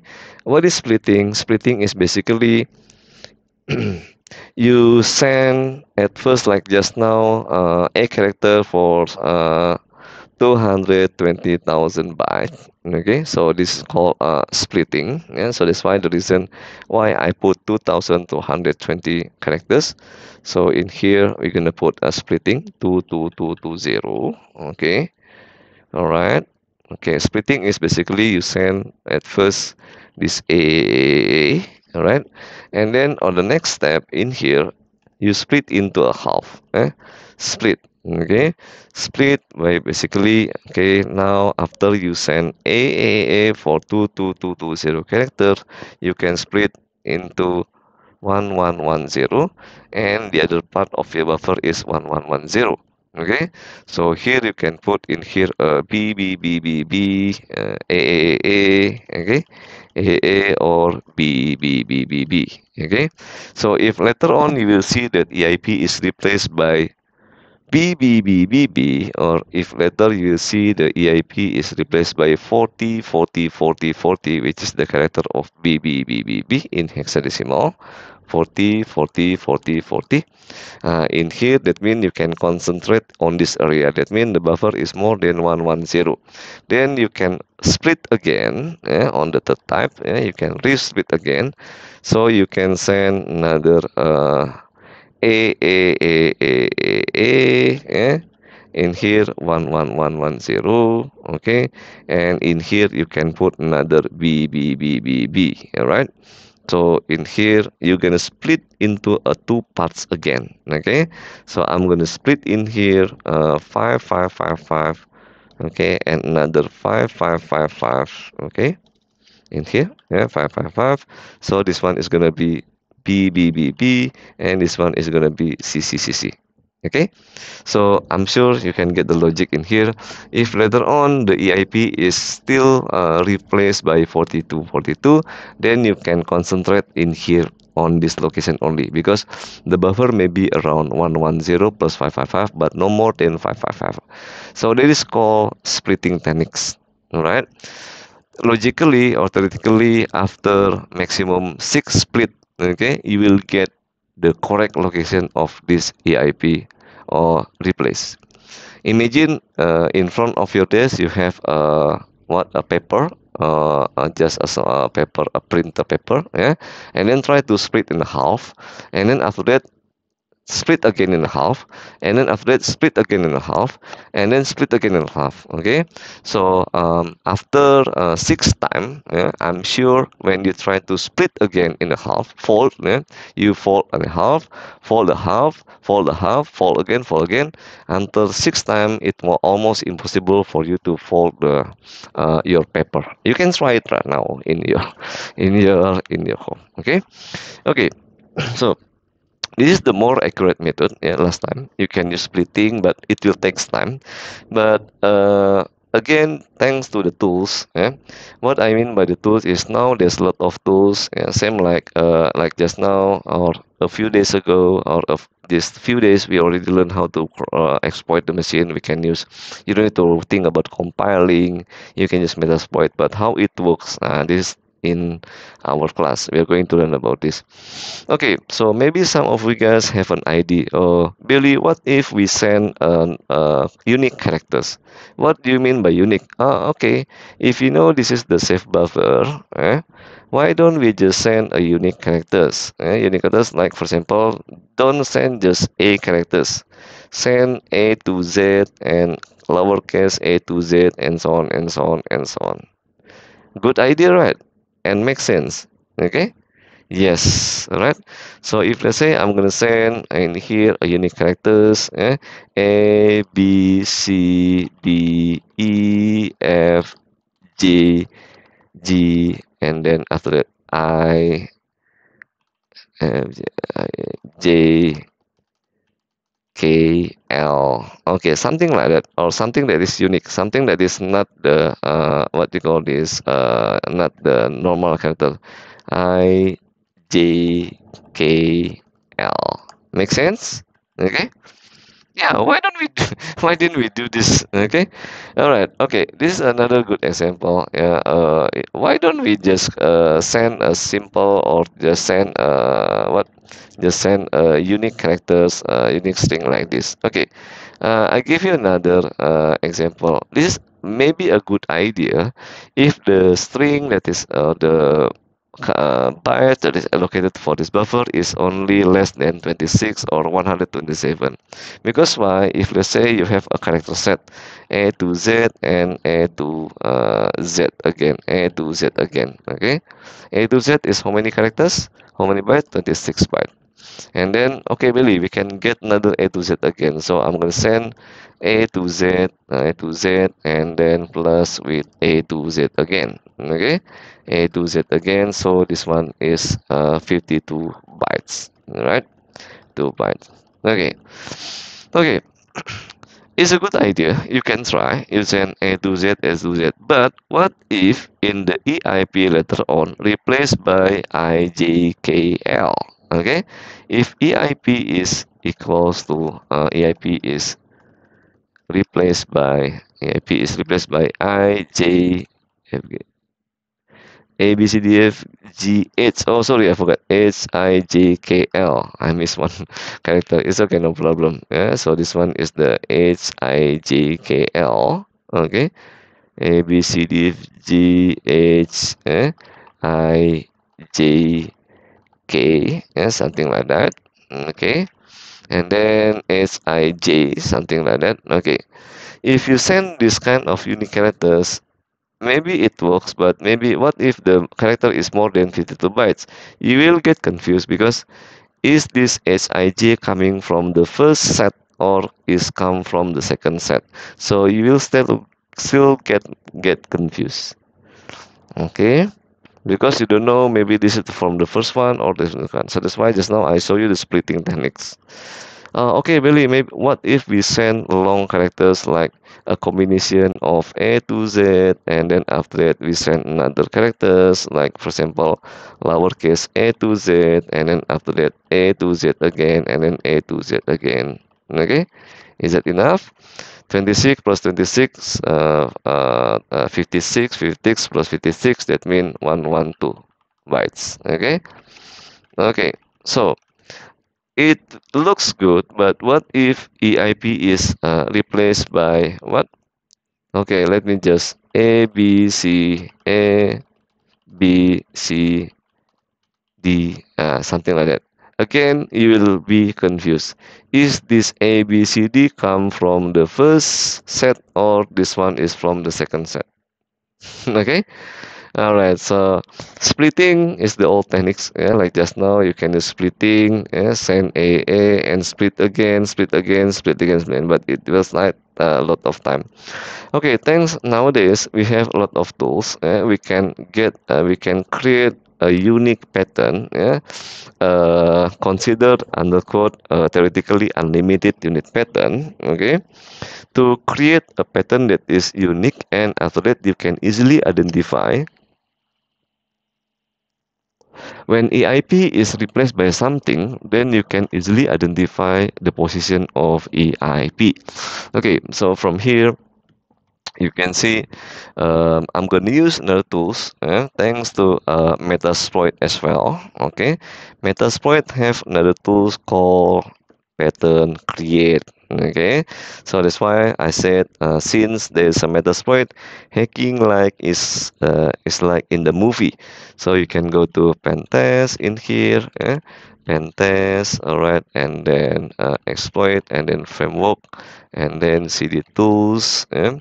there's al okay look at this there's a lot of tools okay uh, this is the tool that we need pattern of uh, pattern create and pattern offset. So i'm gonna clear this one. Okay let me show you how to create pattern offset. Uh, slash for example in here uh, pattern uh, offset dot rb uh, how many pattern do you want? 20 bytes okay? Look very fast. Oops pattern offset oh sorry pattern create let me clear this one first. Pattern create. Pattern create dot rb 20 bytes. Enter. Then you will see in here. Look, AA0, AA1, AA2, AA3, AA4, AA5, AA something, something, something. If you look at this AA0, AA1, hmm, is this a unique pattern? No. Yeah, yeah. If you look at this, Really, is this really unique? Yes, because they use hexadecimal, and secondly is they count by three hex three bytes. So AA0 is the first set, AA1, AA2, AA3, and so on. So if let's say your EIP later on replaced by uh, AA2, something like that, you can just use this tools pattern offset. Okay, pattern offset.rb uh, hi Metasploit, please tell me where is 1AA, for example, like that. And then you can look at this. Yep. Uh, be careful when you calculate the pattern AA0, 0, 1, 2, 3, 4, 5. Okay, it start from 0. Be careful, this is the byte number 0. Eh? This is number 0. Eh? So 1AA, eh? so that's why they said this is start in the position number 5 because this one is from 0 okay? All right look at this. We count it again. 0 1 2 3 4 5 eh? so 1AA is in the fifth bytes in our pattern offset okay? You got the idea? All right so now we can ask these tools again hi metasploit can you please give me a pattern uh, create okay? Can you create for me a pattern for uh, 2220 bytes? Enter. Wonderful right? so you can see from here look. This is all the pattern and then this one is 2200 byte. Very good one okay so if later on after you send this evil buffer to the uh, application and then you can see okay for example uh, EIP is uh, replaced by which one do you want? Uh, maybe this one CN6 okay? So if EIP is replaced by CN6 you can just use these tools again okay? And then you can ask hey metasploit where is the position of pattern offset okay rb this is uh, cn9 or it's up to you. Which one you want? Cn7 cn6 okay i'm going to use this one. Cn9 okay you can just ask this tool. Cn9 is in uh, which offset or position? Enter. And then look at this. Wonderful. This is in position number 19777 1977 you believe it yeah, if you don't trust it, you can count 0, 1, 2, 3, 4, 5, 6, 7. Uh, of course, of course, uh, we don't need to uh, count the bytes. Eh? We just trust these tools, okay? So uh, this is a very useful tools. You can create the pattern of offset. So now I will go back again to our exploit skeleton. Just copy all of this pattern unique, uh, unique pattern, and then we're gonna have the second spell uh, second skeleton uh, uh, exploit uh, code minisploit2.py all right oops sorry. Uh, nano eh? nano minisploit2.py all right okay if you look at this just now uh, okay uh, this uh, the header is still the same. User bin python import socket target address target port and then buffer get. And look at this buffer. Just copy all the pattern just now. It is a long line 2220 uh, characters and don't forget to close the end of the buffer with the uh, http close conversation. Open the socket connect the socket send the buffer and close. Okay so now i will go back again to uh, our uh, target machine. In here we're gonna restart again yeah, because this machine is, has been crashed. Then you can restart using uh, click on debug and then restart. Yep okay let's go. Yep and then I'm gonna play this uh, application. Correct. Look at this. Yes. Okay. We get the mini-share exe application. And then if you want as well you can run wireshark because we are going to send a unique pattern to the remote machine. Capture uh, restart. All right that's cool. Okay. Then we can try to send our second uh, exploit or second skeleton of our exploit which is here we are going to find the offset okay? Python minisploit2.py enter. Tab yep. Let's take a look in here yeah? and then you scroll down. I want to see the pattern okay nbns all right good. Look at this. Get aa0 aa1 aa2 and so on so on so on. It is our unique pattern. And just wait until the application close. Yep the application is closed. And yes uh, if you want to check in here you can see we are sending hypertext protocol. And then get okay look at the data itself. Eh? Uh, look in here. This the data. Get a. Okay we can if you want to make sure you can uh, right look at this. Get AA0 AA1 AA2 AA2 wow so many 2220 okay? And then HTTP 1.1 and so on. Okay that's good. That means we managed to send. And if you look at this our application is crashed and it will be good yeah, because just now we can get another information. Look at this.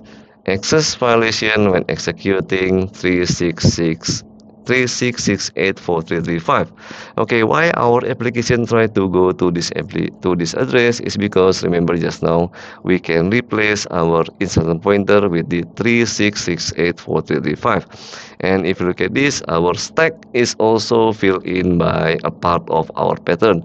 Ch7 ch8 ch9 and so on so on which is this in the hexadecimal uh, on this location on this memory location. All right so now we can draw back again. We can go back to our diagram. After we send a unique pattern like that right we can send in here our unique pattern?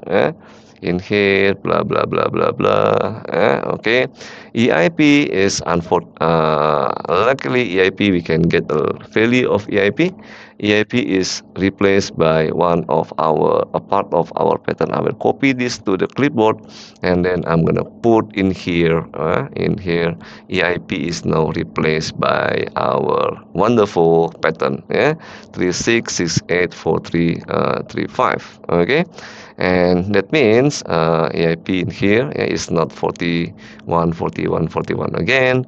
EIP is now uh, replaced by this uh, value that we are going to find out uh, what is the place of that. And another good thing is in the stack we can see in here the stack uh, I will copy to the clipboard. Uh, copy selection to the clipboard and I'm gonna erase this one delete this one okay alright delete delete delete delete, delete. and then we can fill in in here uh, EIP uh, sorry. EIP is now the value of EIP I will follow to in the dump. In here look at this. This is our EIP uh, copy to the clipboard. Okay actually there's a lot of string in there. All right look at this. Eh? all right this one. Okay and yeah 41 so on so on so on. Uh, ch7 ch7 so on so on eh? okay no need to copy all those things. I will just uh, put all uh, some of the lines because there's so many uh oops sorry. I will copy uh, just uh, one of the line in here. Okay look at this. I will delete this one. Where is the ch7 mm -hmm. okay. Wow so many okay yep yep ch7 ch8 ch7 up sorry. Ch7 ch8 and so on okay. And another good things in in here is you if you look at the stack pointer the stack pointer is pointed to this address copy to the clipboard. So the stack is replaced to this address. And look okay i will show you later on why this is uh, quite dangerous because you must pay attention to this one eh, because the stack now is pointed to 103908 okay? Look at this. This is different with the first one. 01 ac3908 okay? Because why? Stack is dynamic. Stack is used by another application. So in some case later on you will see that the stack position is not in this address anymore okay? Because this stack is really dynamic if you have another application is running if you have another application is uh, or a lot of application is open maybe the stack value will not be in this address anymore. And this is quite important because we are going to learn about the trick how we can redirect our stack or our CPU to execute the value on the stack. We know in here EIP is already replaced by this value. EIP is replaced by this 3668 okay. Okay. Like that.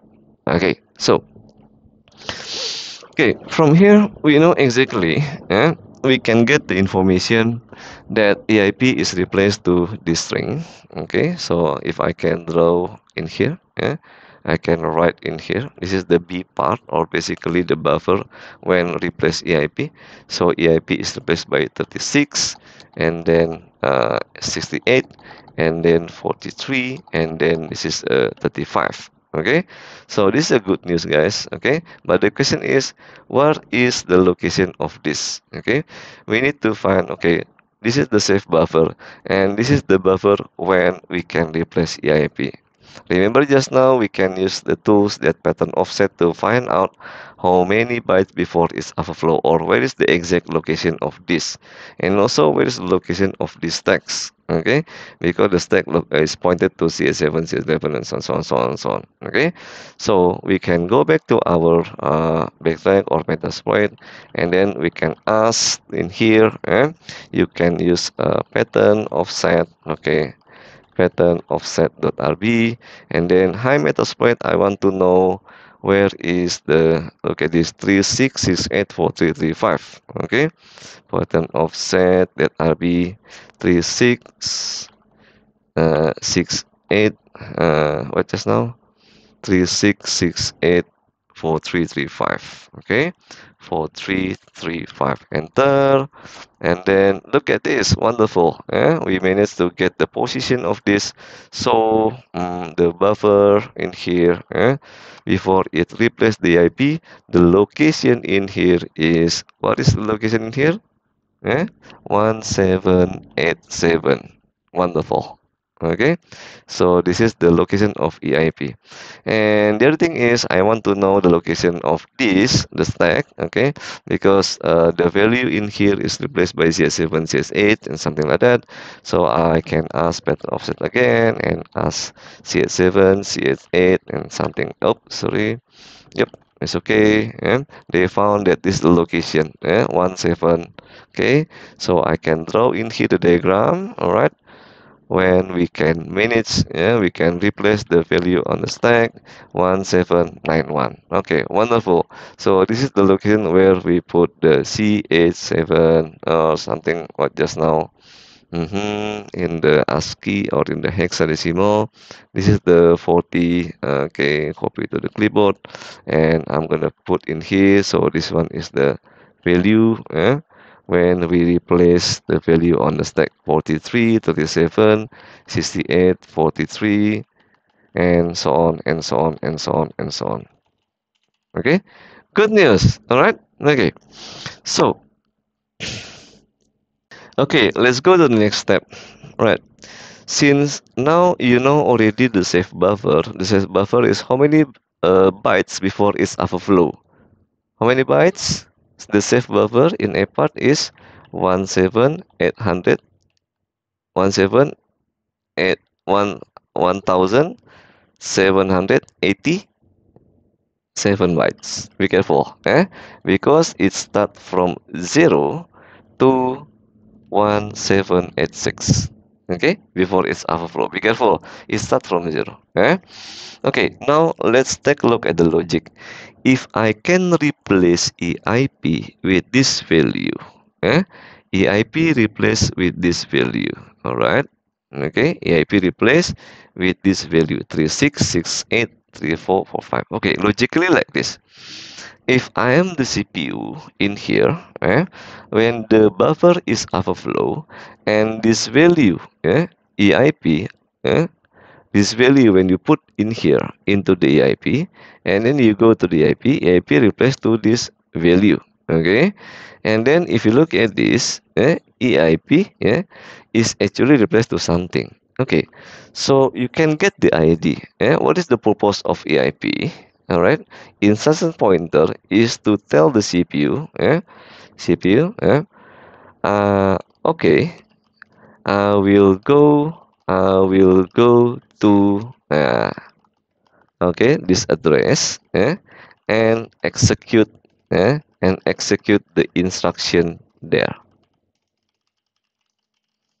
Okay I will go to okay I'm going to put something in here. Okay something all right so what is what you're going to put in here? The address of our payload. Okay so you need to you need to trick the user uh, the CPU and eh, CPU you need to trick the CPU hi CPU why don't you go to the address of our of the payload pay of of the payload in the stack. Okay? Yeah? Okay, I will go to something something and actually okay. So since you know since you are able to replace the EIP, look at this. This is a magic. Eh? Look at the address of the stack. The current address of the stack is this one. 10373904. Make sense? And this one is the content of our payload. If you look at this, look. EIP is in here. Okay. And ESP is in here. Alright. So if you want to if you want the CPU to go to the stack, why don't you just put the address of the stack 01373908 put into EIP. Make sense? Okay. So in here, instead of I'm gonna put 363684335, why don't I can just put the address of the stack? The address of the stack that I know so far, the current address of the stack is this value. Copy to the clipboard. So this is the address of the stack. Yeah. Look at this. All right. So this is the address of stack 0339. Okay, what if I put this in here? Okay, I'm gonna put in the blue color in here. Okay, in this location, all right, I'm gonna use uh, blue color. Okay, oops, sorry. Okay, like that. Okay, in this location, exactly when it's overflow, why is not changed to blue? Oh, okay. Blue. All right so i'm gonna put this address. 3908 okay. What will be happen eip will be replaced by this stack address okay correct and then after that again in here eip will be replaced by the stack address. Look at this. Okay.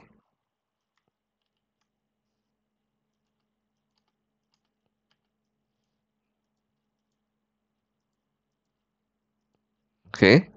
So when the IP is changed to that address, what will be happen?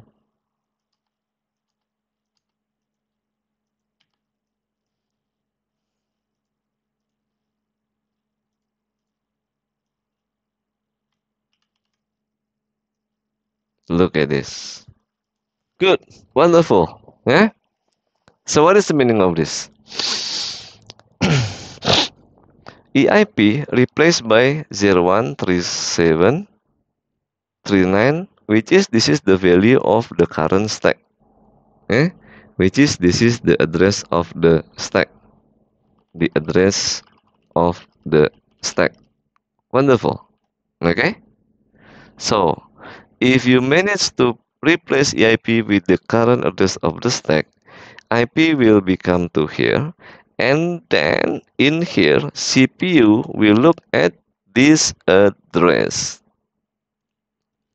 Okay. Alright, look at this. Okay, I will go to this address. Okay, then CPU will get tricked. Ah, CPU will go to this address and then voila this address is actually your payload Wonderful.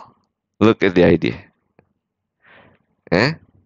So when you okay, let's say you can just put a a a in here as normal. A a a a a a a a.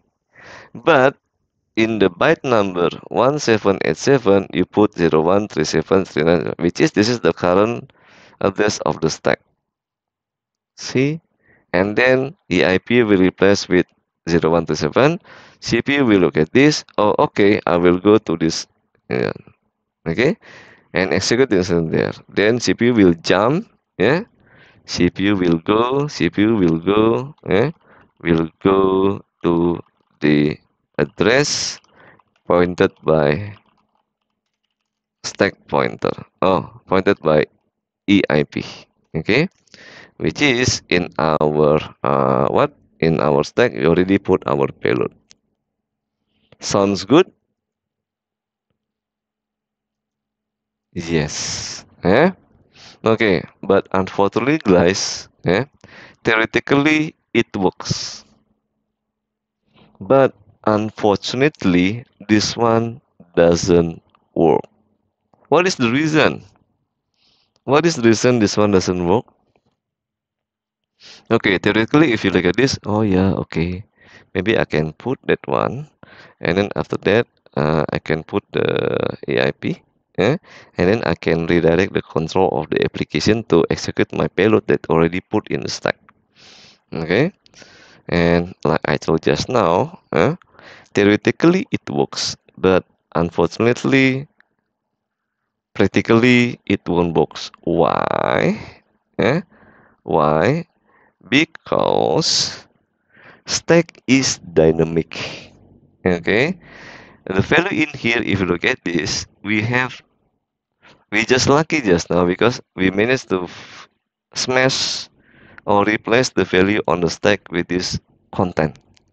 Okay? But remember this stack is used by all of your application.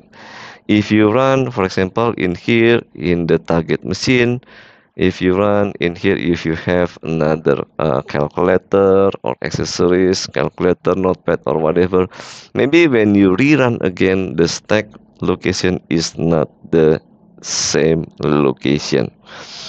Okay or basically technical uh, in the technical uh, uh, technical terms in here it doesn't work. Yeah, it won't works. Okay this one doesn't work right why? Yeah first stack address is dynamic. Okay. Secondly is eh? okay. Secondly is dynamic. And then secondly is you cannot put so that's why static or hard coded hard-coded address stack address eh? stack address in your exploit okay so the third one is we must find a way a way eh? okay or trick eh? to ask the CPU to just execute our payload in the stack regardless of the current stack position okay eh? so this is the answer of this problem eh? because stack is dynamic okay you cannot put static IP address okay sorry inside pointer address okay? Status dynamic yeah, is always changing okay? If your computer is restart it will be changing. If your computer is patched it always changing. And if there's another application it's always changing. So we have the problem. Next uh, we have a problem in here. Another uh, problem okay? Problem in here. All right okay? You cannot put a static or hard-coded stack in the isn't pointer. Okay? Stack address is dynamic and static hardware stack address in your exploit. And you need to find a way yeah, or a trick. A lot of tricks later I will show you the simple one the easy one. But you need to find a way or the trick where you can ask the CPU or you can ask the CPU regardless of the stack or regardless of the what you call this uh, the position on the stack at that time but just go to the stack and execute the code in there. Now we have another problem. First um, theoretically if you look at the diagram you can see that uh, if you manage to replace the AIP with the address the memory address of the stack then logically theoretically um, CPU will go to this address and then execute the our payload in the stack yeah? but uh, I tell you this one um, theoretically it works but practically maybe it won't work. Because uh, stack is dynamic and stack is used by another application not only your application. So whenever if let's say you change or you run another application or you restart the machine or you have a few application running the stack uh, address will not be pointed into the same address like it here in this example okay? So we need to find a way yeah? we need to find a way or the trick okay we need to find a way or the trick. Regardless of the uh, position on the stack regardless of the pointer on the stack uh, to the po point to the memory location I just want the CPU okay or the processor to go to the memory location on the stack and execute the what? The payload over there. Yeah so the answer is hi CPU okay. So simple like that. Hi CPU yeah I don't care uh, uh, the location the current okay uh, position on the stack. But please uh, but please just go to the stack and run my payload there. Okay? So this is the idea all right actually there's a lot of tricks a lot of techniques yeah there's a lot of tricks a lot of technique but this is the uh, the most easy way. And this one is quite tricky because um, I can say uh, easy to understand but a little bit tricky yeah? But this is makes sense. I mean I want to tell the CPU hi CPU I don't care where is the location of the stack? Where's the position? But whenever you jump uh, just go to the stack because I already set up the payload on the stack. Okay so how to do that? All right so now I'm gonna delete this one. Okay okay. CPU will uh, go to the address pointed by EIP actually a lot of tricks. For example um, you can calculate how many bytes uh, in the safe buffer and then how many bytes uh, where the where you replace EIP and then where is the location of your payload. And then uh, you can put in here yeah, approximately um, for example uh, 10 bytes or 20 bytes yeah, after the end of the IP. so it will be pointed to the address in here okay okay but that one is a lot of trial and error i mean there is some um, uh, obstacle as well and because EIP must be uh, address of something okay? If you uh, wrongly calculated the stack wrongly calculate the length of address in here maybe your uh, CPU will execute the stack but it's not exactly on the beginning of your payload okay? Okay so i give you one another trick eh, which is really interesting in here and then you will see from here oh maybe all this why and so on so on and later on you will see uh, in the uh, exploit db for example why they use this and why they use that and why they borrow something and uh, this is the most commonly trick that you can do and the most common trick and easy ways. Okay. In the assembler code all right in the assembler code there is uh, instruction. I will just give you the instruction okay? Uh, in the assembler code there is one instruction. Just now we learned about move and then uh, pop push and any others. Okay. All right i will just give you the answer yeah, to uh, answer this question. Is actually very simple okay? In the assembler we have this instruction yeah? the instruction name is called jump esp oh what is that? Yeah. all right jump esp is basically uh, we're gonna tell to the uh, cpu yeah to jump yeah, to the memory location that is pointed by ip by, by sorry by the stack pointer and then execute the code in there okay? So to answer this question we can use jump esp command because jump esp is actually to jump to the stack yeah, regardless of the position of the address of the stack and then execute the code in there. So this is one of the trick okay? And most of the vulnerability researcher they use this trick. Or basically um, sometimes they call this as to modify the return address. Okay don't worry later on you can try to find out what is return address what is the meaning of that and so on okay? But in this example i will try to make it as simple as possible. So basically you want to modify the return address okay? Return address is actually uh, the variable or the address of the memory where after you call a one function or one application so the application must return back to the original function. Let's say in your application you have three functions. The first one is the main function the second one is the login function and so on and so on.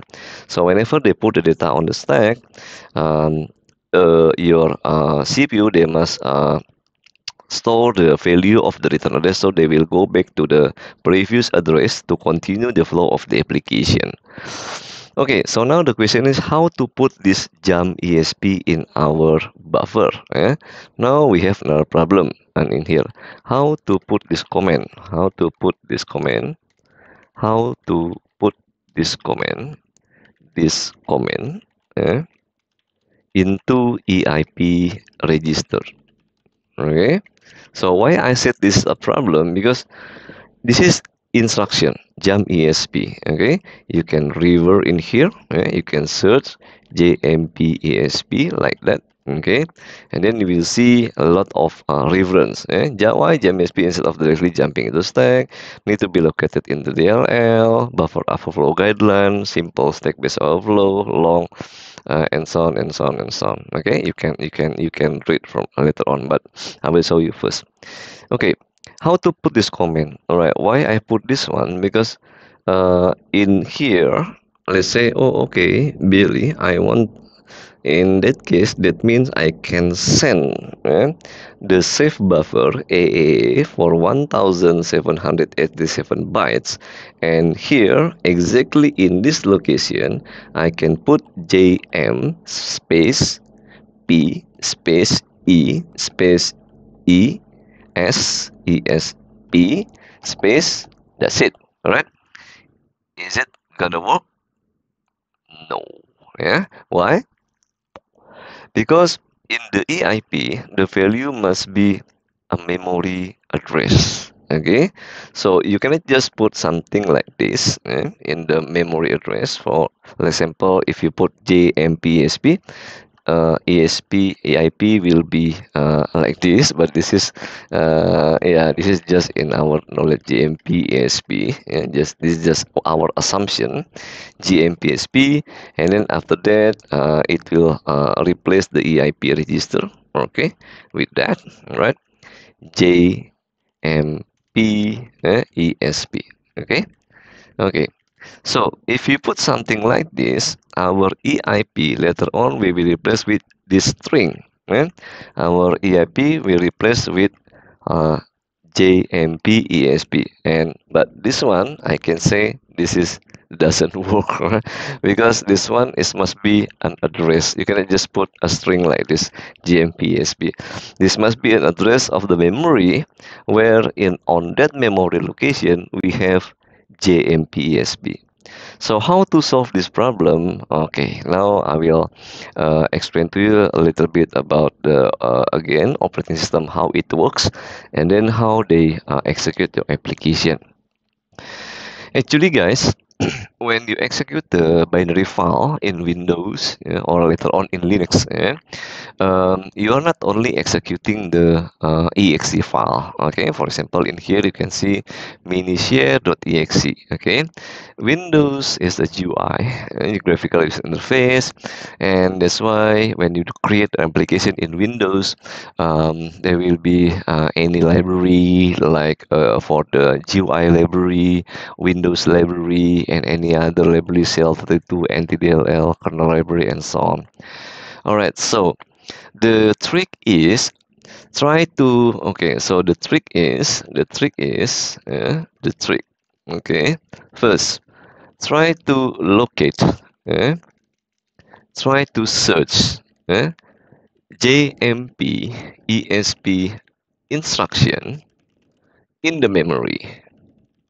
Uh, in the memory, okay, and it must be in this exact uh, location in the memory. Okay, so the question is how to borrow that one. Uh, the trick is like this. Okay, the second question, uh, second is okay, uh, under quote borrow the address, uh, the address. Okay, and the one is uh, put into our uh, our cell code our sorry exploit.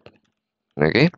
Okay the question is how to find the search memory which is there's a lot of condition and this must be static.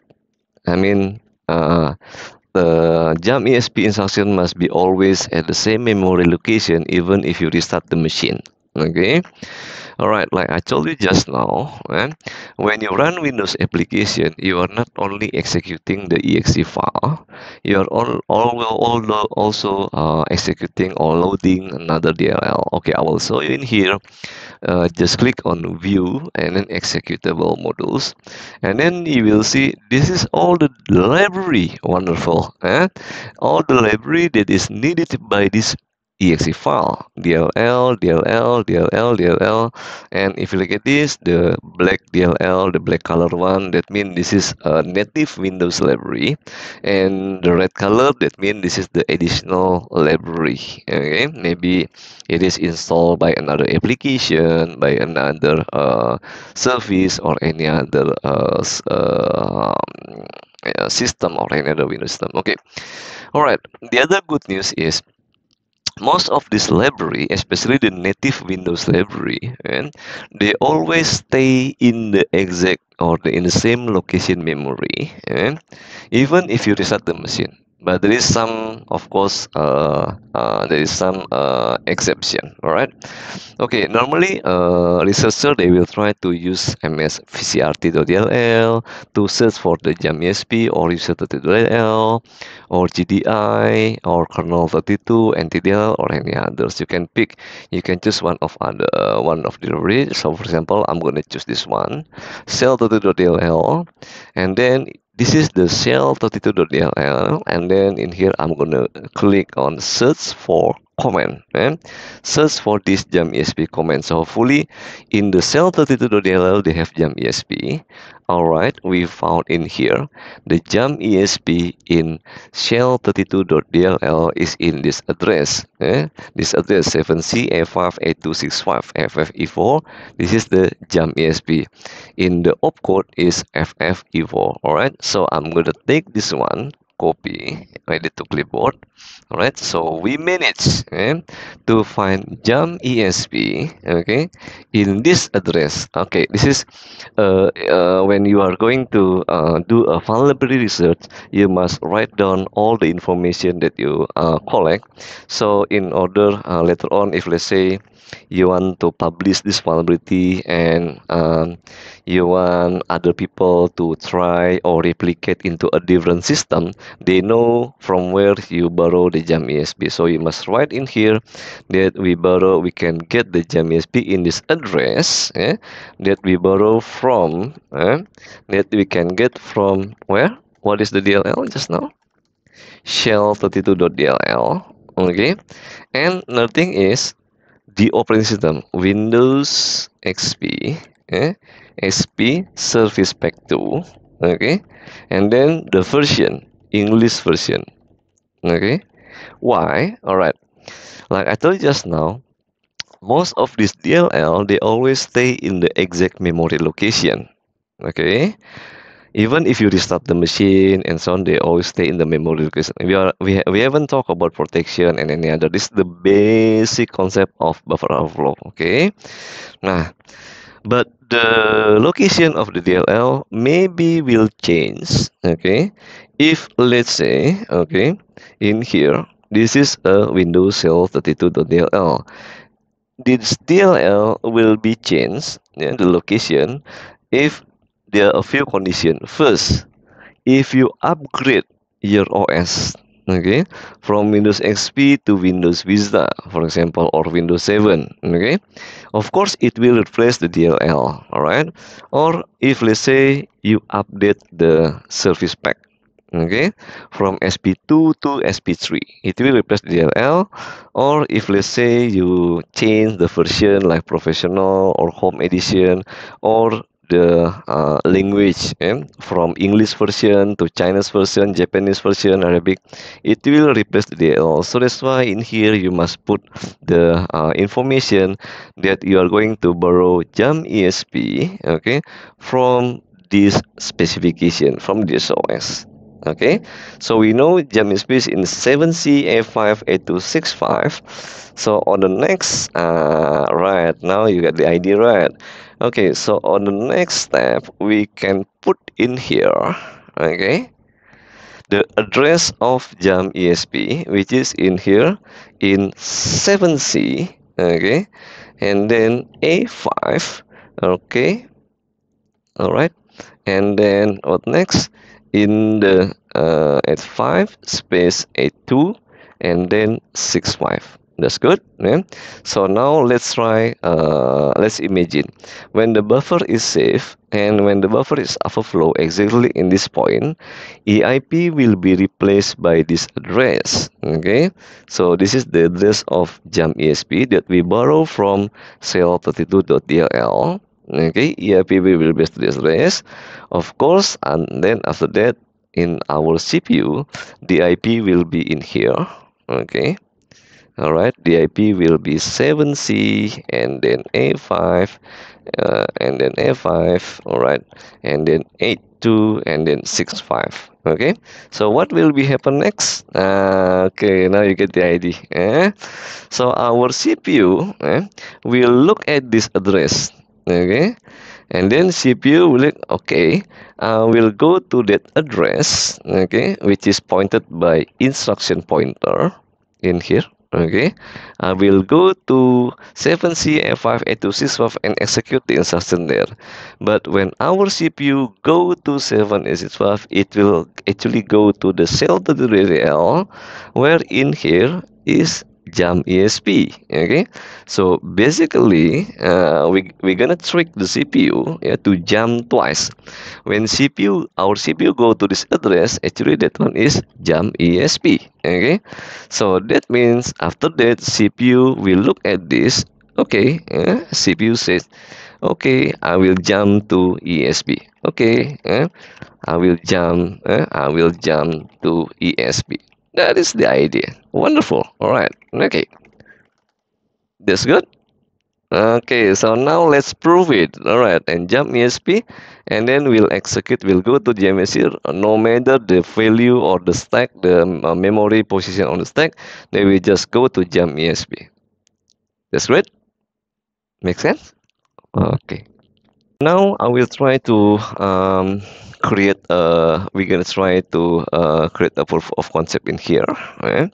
We're gonna try to put the jump ESP address to that uh, overflow buffer yeah? and then we're gonna check.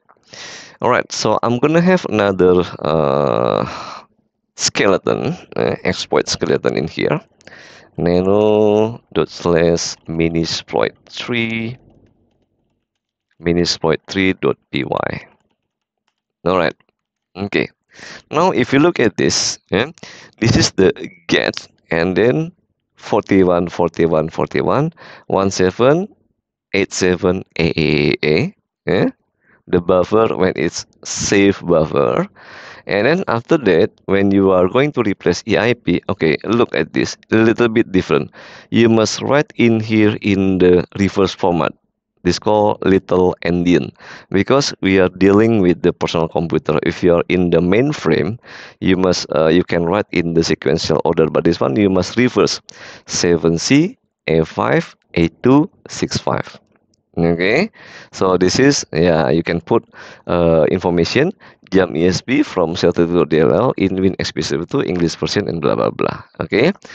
And then what is on the next part in here? Eh?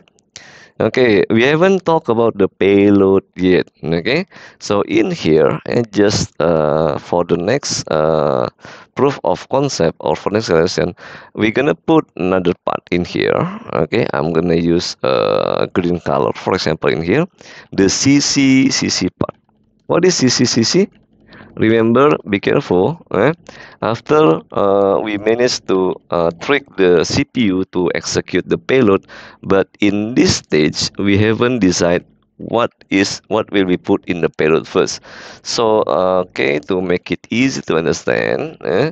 and to check whether we really calculate the exact location we really calculate the byte before its overflow in whenever they go to the stack i'm going to put another uh, this string first c c c c c c c c c c c c c c remember we do, uh, we haven't decided what will be in the payload yet okay all right so we can compile this one eh? all of our code okay but before we execute this one minisploit3.py we need one more thing guys. We need to set up the breakpoint. Okay why? Because we don't have the payload yet.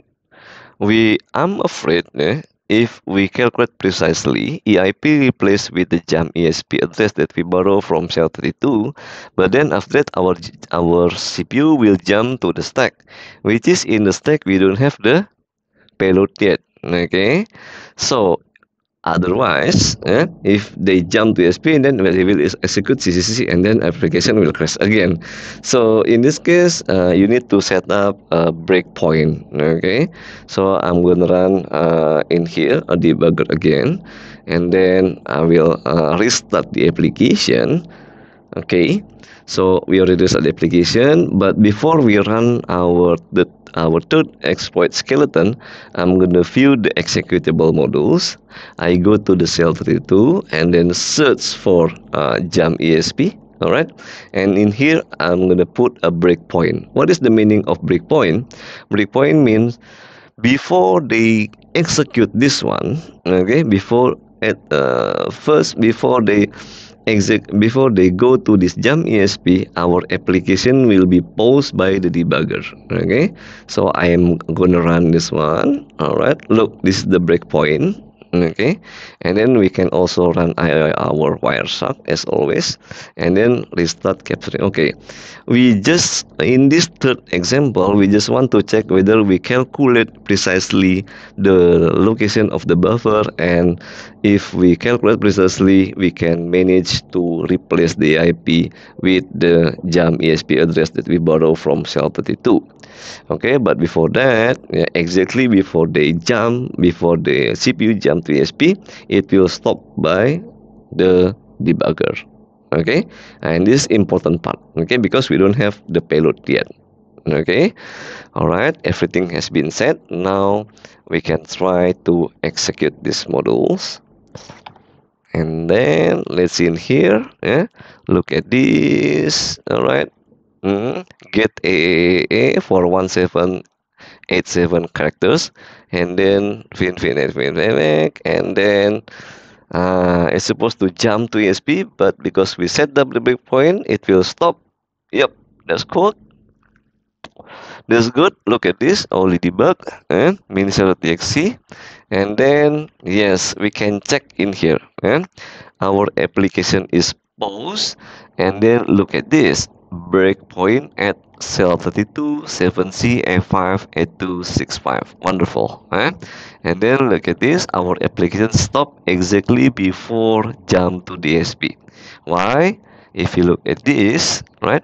Okay i'm gonna move this one all right look at this eip there's a red color in here. That means this is our breakpoint eh? this one breakpoint okay. And then look at the stack. Okay wonderful eh? our stack is now filled in with the CCCCCC which is this gonna be our payload eh? if you scroll up then you will see all right look at this. This is the AAA eh? this is the AAA how many bytes? 1787 all right and then this is a place where we replace EIP replace the return address eh, EIP and and because we put the breakpoint so it will not jump to here. It will stop directly in here. Okay good. Well done. The next step is first what we're gonna do what we're gonna put in here as the payload payload okay. Remember yeah when we learn about exploiting as always i always say choose the simple payload and the small payload as you can. For example choose the payload that will just only give you the shell. Choose the payload that will give you the command prompt. Okay. Don't use the fancy payload like vnc inject and so on. Why? First because this is the stack and the stack is dynamic and the stack is used by all the application in the operating system first is we need to find the size yeah? the the available the available size okay for the stack uh, for the payload okay so if you look at this our payload start from this address cccccc from this address and then if you scroll down again look at this eh? Our CCCC landed in this address okay? But this is last CCC but be careful with this because uh, we don't know what is uh, or who or uh, what is the uh, or who belong or maybe the another application they want to use this application as well. The end use uh, location the part of memory. Okay to make it simple yes yeah to make it simple eh, to make it not simple to make it secure okay you must calculate the stack first okay first we need to find the size all right eh? so we have now another okay what to put eh? what to put in the stack in the stack or basically as our payload okay. Secondly is eh? secondly is what? You need to calculate. Uh, first calculate the space eh, in the stack. Mm, okay. And then inject uh, inject our payload there. Okay? Okay first okay. We need to calculate eh, the space that is available on the stack all right okay first to make it easier eh, try to look at the bottom of the stack eh, in here. Yeah this is actually the top of the stack. Uh, but in here uh, if you want to take this one it is very risky because we don't know what is this okay? So uh, my suggestion is try to uh, put uh, try to get one line or two lines. It will be more safer eh? okay i'm gonna put uh, i'm gonna select the last address in here copy to clipboard. Okay. So okay. So this is the address of the last stack. Okay. And then after that uh, where is the address of the first stack? Mm -hmm, in here. And then copy to clipboard. And this is the address of the first stack. Okay? so this is the uh, bottom. Uh, last the last CCCC in, in here okay? The first CCCC is in here. Okay? And then you can just calculate yeah for example from here yeah, this one okay calculate the space yeah all right yeah calculating the space for uh, space for the payload.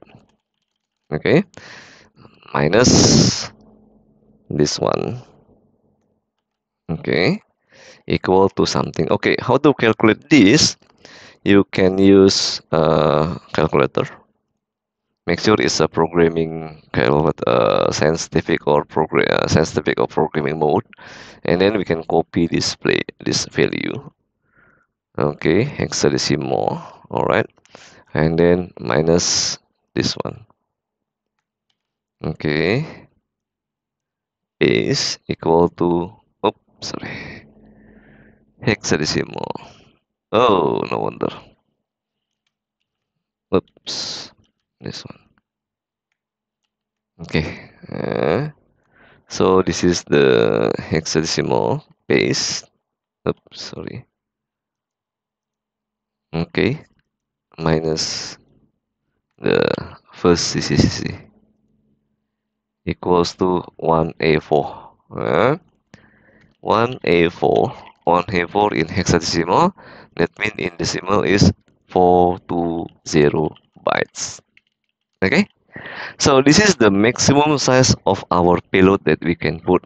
Ah, okay. Yes yes yes so now you can understand eh, why last time if let's say okay i'm gonna run uh, msf console the, uh, the old metasploit and then if let's say you, you uh, look at the information info in here eh, info is uh, 50 50 printer overflow and then you can see in here look payload information. Okay the good uh, exploit developer yeah, when they create this exploit they will tell you in here that you need to use a payload that no more than 900 but because they already calculate the space of the payload okay?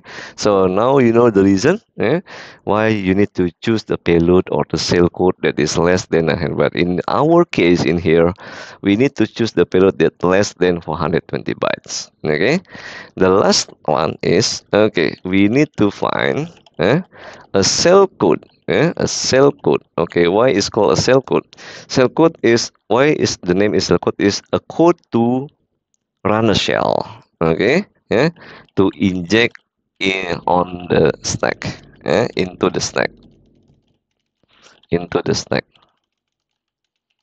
the stack. Okay so how to find the cell code? Uh, okay again you can uh, there are many options yeah. First you can create your own cell code yeah? create your own cell code. Create your own cell code. Cell code okay. How to create the own cell code? Very simple. For example create a simple application. Apps yeah, using C or any other using C++ or any others yeah, to call cm.exe I forgot the syntax, but it is something like this exec ve and then cmd.exe. Okay, all right, and then after that, second one is compile, compile it. Yeah, so it's gonna be, for example, call cmd.exe, and then the third one is disassembler, assembler it. Yeah, so it's gonna be assembler mode, and then after that, use uh what? Uh, convert into opcode okay? Why? All right because we are dealing directly with the processor we are going uh, to inject a code in here yeah, to the stack. Of course you cannot just put something like this exec eh, exec uh, cmd uh, cmd.exe like that. You cannot put something like that because this is we are going to inject directly into the memory and this one it must be in the processor or machine language or basically this one is called opcode and opcode is different eh? opcode in different depends on operating system opcode in windows eh? linux is different and then uh, architecture eh? 32 bit 64 bit and then the processor intel opcode amd opcode arm they are all different. Okay? Okay so what is the best solution? Eh? okay there is actually eh, to put or to uh, what you call this uh, to create the cell code you can create your own cell code yeah but in this class don't worry we don't we are not going to learn about to create your own cell code. We can use yeah, the ready-made cell code. Okay? Okay because if you want to create the cell code i will show you the book uh, cell coder handbook. Handbook. And this book yeah, i can tell you uh, if you go to amazon uh, this one is uh, this book is 744 page okay? How to write the cell code yeah, how to write the really good cell code okay? Okay but don't worry guys uh, okay we can use the ready-made cell code. If you have time later on you can write your own cell code right okay so a lot of uh, already made cell code. For example, you can go to our exploit DB and then you can go to here. Look, they have a cell code, the exploit database cell code. And then look at this. This is a Linux 32-bit 800 reverse TCP shell dynamic IP port cell code, Linux blah blah blah, Windows 64 cell code, exec VE. Uh, this one to execute bin shell. Yeah? Okay, the smaller cell code that you can get the more good is your uh, uh, exploit code because um, like I told just now, we never know how big is the size for the cell code. Okay, we don't make sure. Uh, we cannot make sure how. Okay, look if you look at this, this cell code in Linux x50, x48, x17, and so on, so on. Okay, one of my favorite uh, to get the cell code is by going to cellcoder database okay if you look at this and also i want to show you in here yeah, for study case that every cell code is different depend on depends on the machine look at this yeah, this is cell code for the aix just to execute bin shell 88 bytes okay if i open this one look at this this is after the this assembler and this one is just the cell code itself eh? but this is for the AIX IBM BSD Cisco SCO FreeBSD 64-bit 32-bit 32-bit HPUX, IRIX, Linux. They, Every day, they everything they have different cell code. So that's why cell code is very uh, specific to each of the operating system, processor, architecture yeah, and a lot of uh, yeah, for example distribution if linux and so on. Okay i will just go to the windows cell code. Look at this windows 64 cell code obfuscated cell code uh, 32-bit 64 but this cell code look at the purpose. This cell code will just download and execute use powershell generator. This cell code is just to add admin admin video and so on. Okay remember in the metasploit in here yeah, you can use payload yeah, show payload all right okay? Then you will see a lot of payload. And if we look at one of the payload for example info eh, info win32 uh, win32 okay underscore bind one of our favorite payload. This payload is windows bind shell the size is 317 and then listening port. And then look at this. This payload we just listen for connection and then spawn a shell. Okay?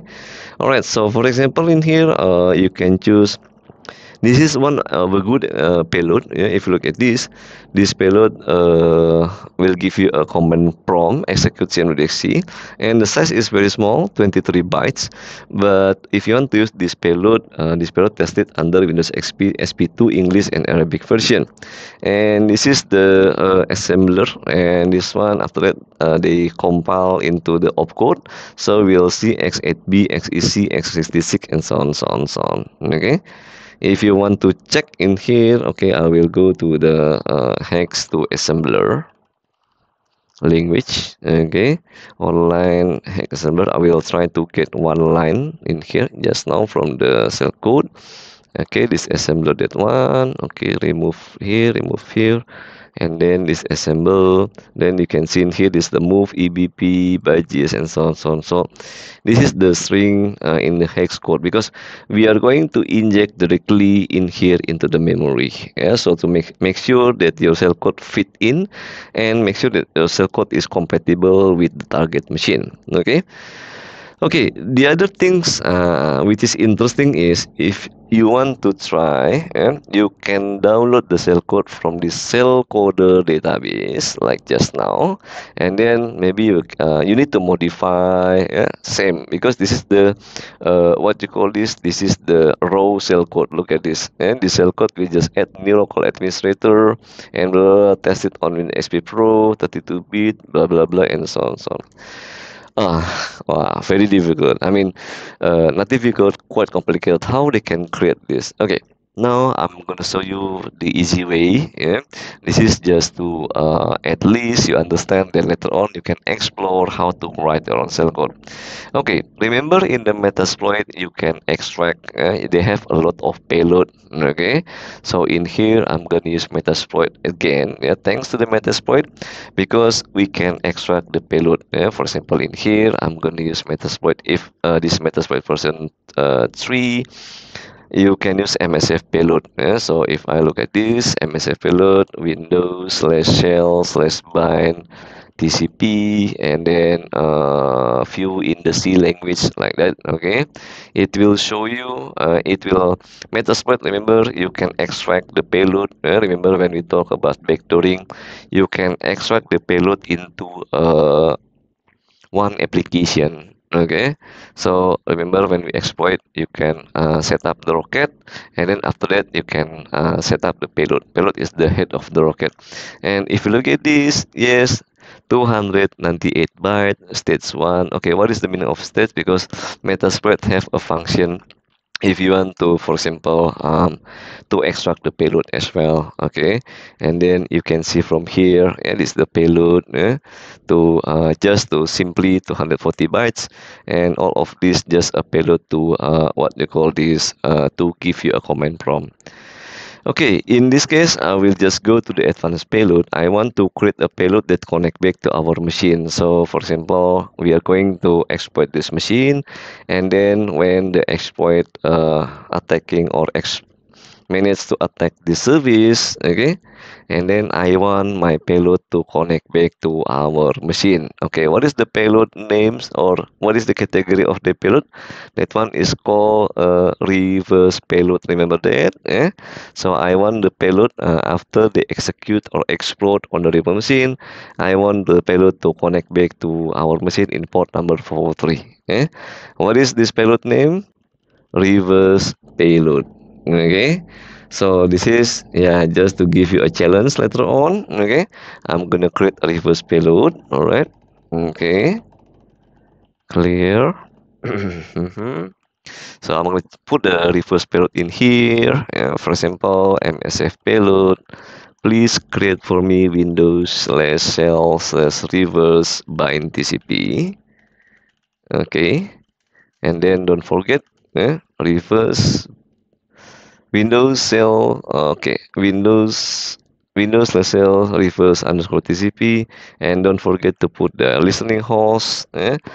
uh, for example this is the researcher machine and then L port is port number 43 okay port number 3 and after that uh, I want to show it into the uh, C language. Oops sorry. MSF payload okay Windows Share for TCP L host L port 443 okay? Because I want to I want the payload to connect back to our machine. Very cool isn't it? Alright, so just wait until our Metasploit will generate the payload and then after that just wait for a moment then you will get the raw payload in the opcode okay?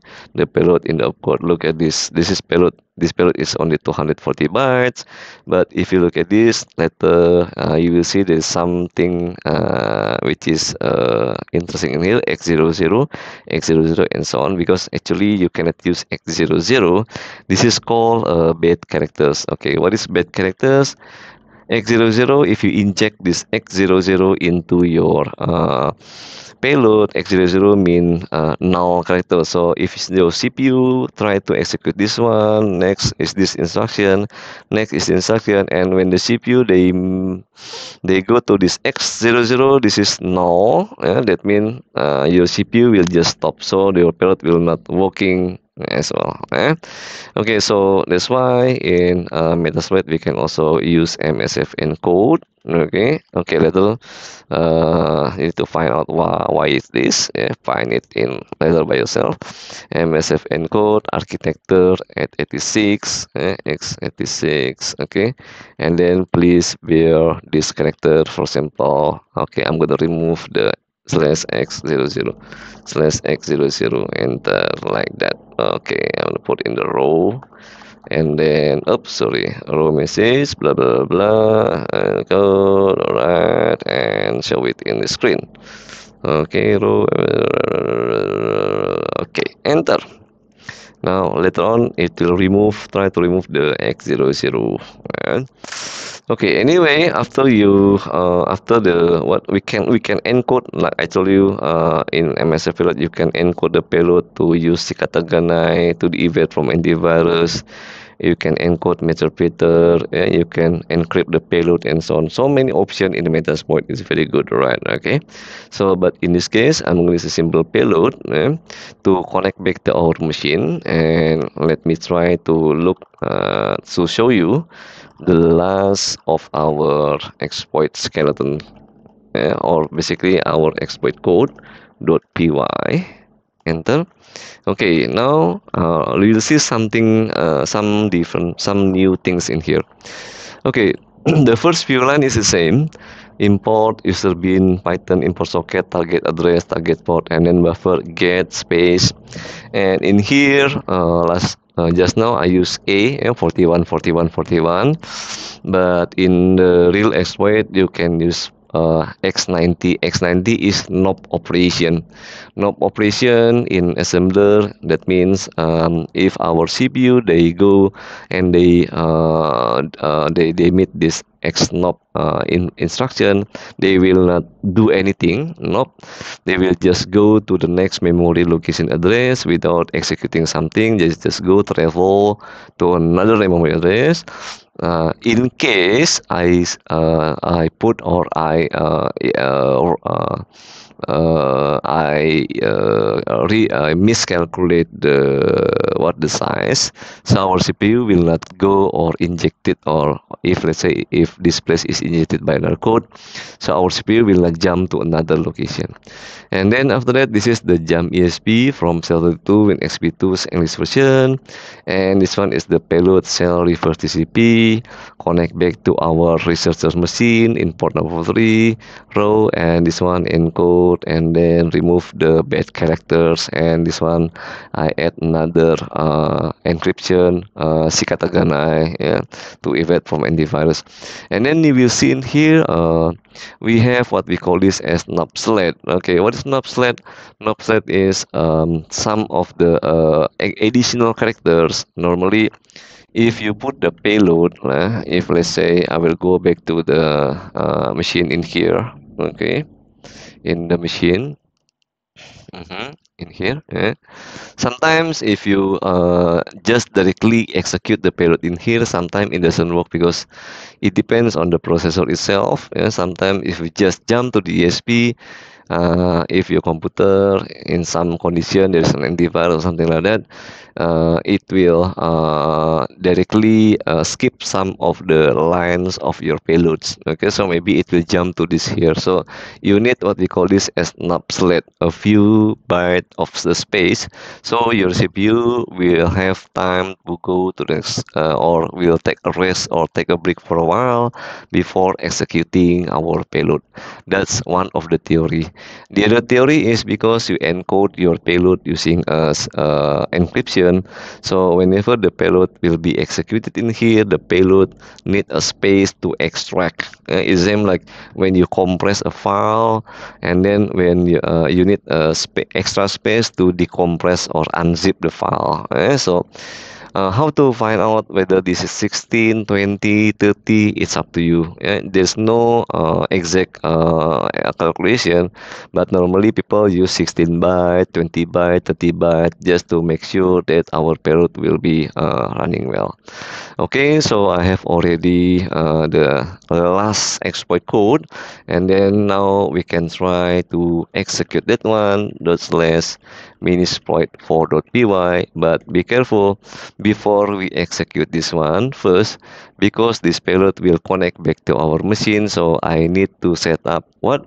Set up a listener. Remember what is listener? When we talk about backdooring listener is uh, to listen uh, to open the port in uh, to open a port uh, a port in the machine to accept a connection. You can use netcat, you can use exploit multi-handler, but in this example, I'm going to use netcat, the simple one, listen in port number 43. Okay, enter. So we are ready in here. If our calculation is uh, good and is uh, correct, and if our payload is good as well, when we execute this exploit it will connect back to our machine and here we will see the command prompt from the machine so i'm going to restart in here restart the application restart click on yes Okay, tada. Okay, do you need a breakpoint? No need, right? Because we already set up the payload. Now uh, we can just start the application. Okay, I'm gonna click on play. Alright, click in here, click OK again. Alright, and then if you want, you can run Wireshark to see okay to see the traffic capture restart again all right then you will see in here we are already in Wireshark and then now we are ready to send our exploit and okay let's just cross our finger. Look at this get to 2020 which is our NOC operation. And then after that EIP will be replaced by what by the jump ESP that we borrow from cell 32 and when they jump to ESP our payload is already in the stack. And look at this wonderful eh? look at this. We can see I got the connection from the remote machine. Okay? And we are already on the remote machine. So wonderful yeah if we look at this you're already on the remote machine. You can do whatever you want. Net users for example Okay, we already uh, who am I? Do I have am I? Or didn't have it. Alright. Okay, what happened in the application? Uh, is the application crash? No. And because why? The application is not crash anymore because actually we de redirect the flow of the application to execute our payload. You can, however, later on explore and play around with this. Look at this information. Alright, it is still running. And if I go to here, I want to follow this one. Uh, follow in the register eh, if you want. Okay, origin. But yeah, later you can just explore. Uh, what is value? The value on the stack. Stack. I will go to follow in DAM the stack. Okay, this is the value on the stack which is oh just now I don't put a breakpoint uh, this stack is actually connect back to our machine so you can also uh, try to check in here uh, command prompt netstat this an and then uh, netstat this an. And then you can see yes we managed to create our payload connect to port number 43 and we can get the command prompt. And then without uh, what? Exploiting or without crashing the machine. The machine or the application is still running. Okay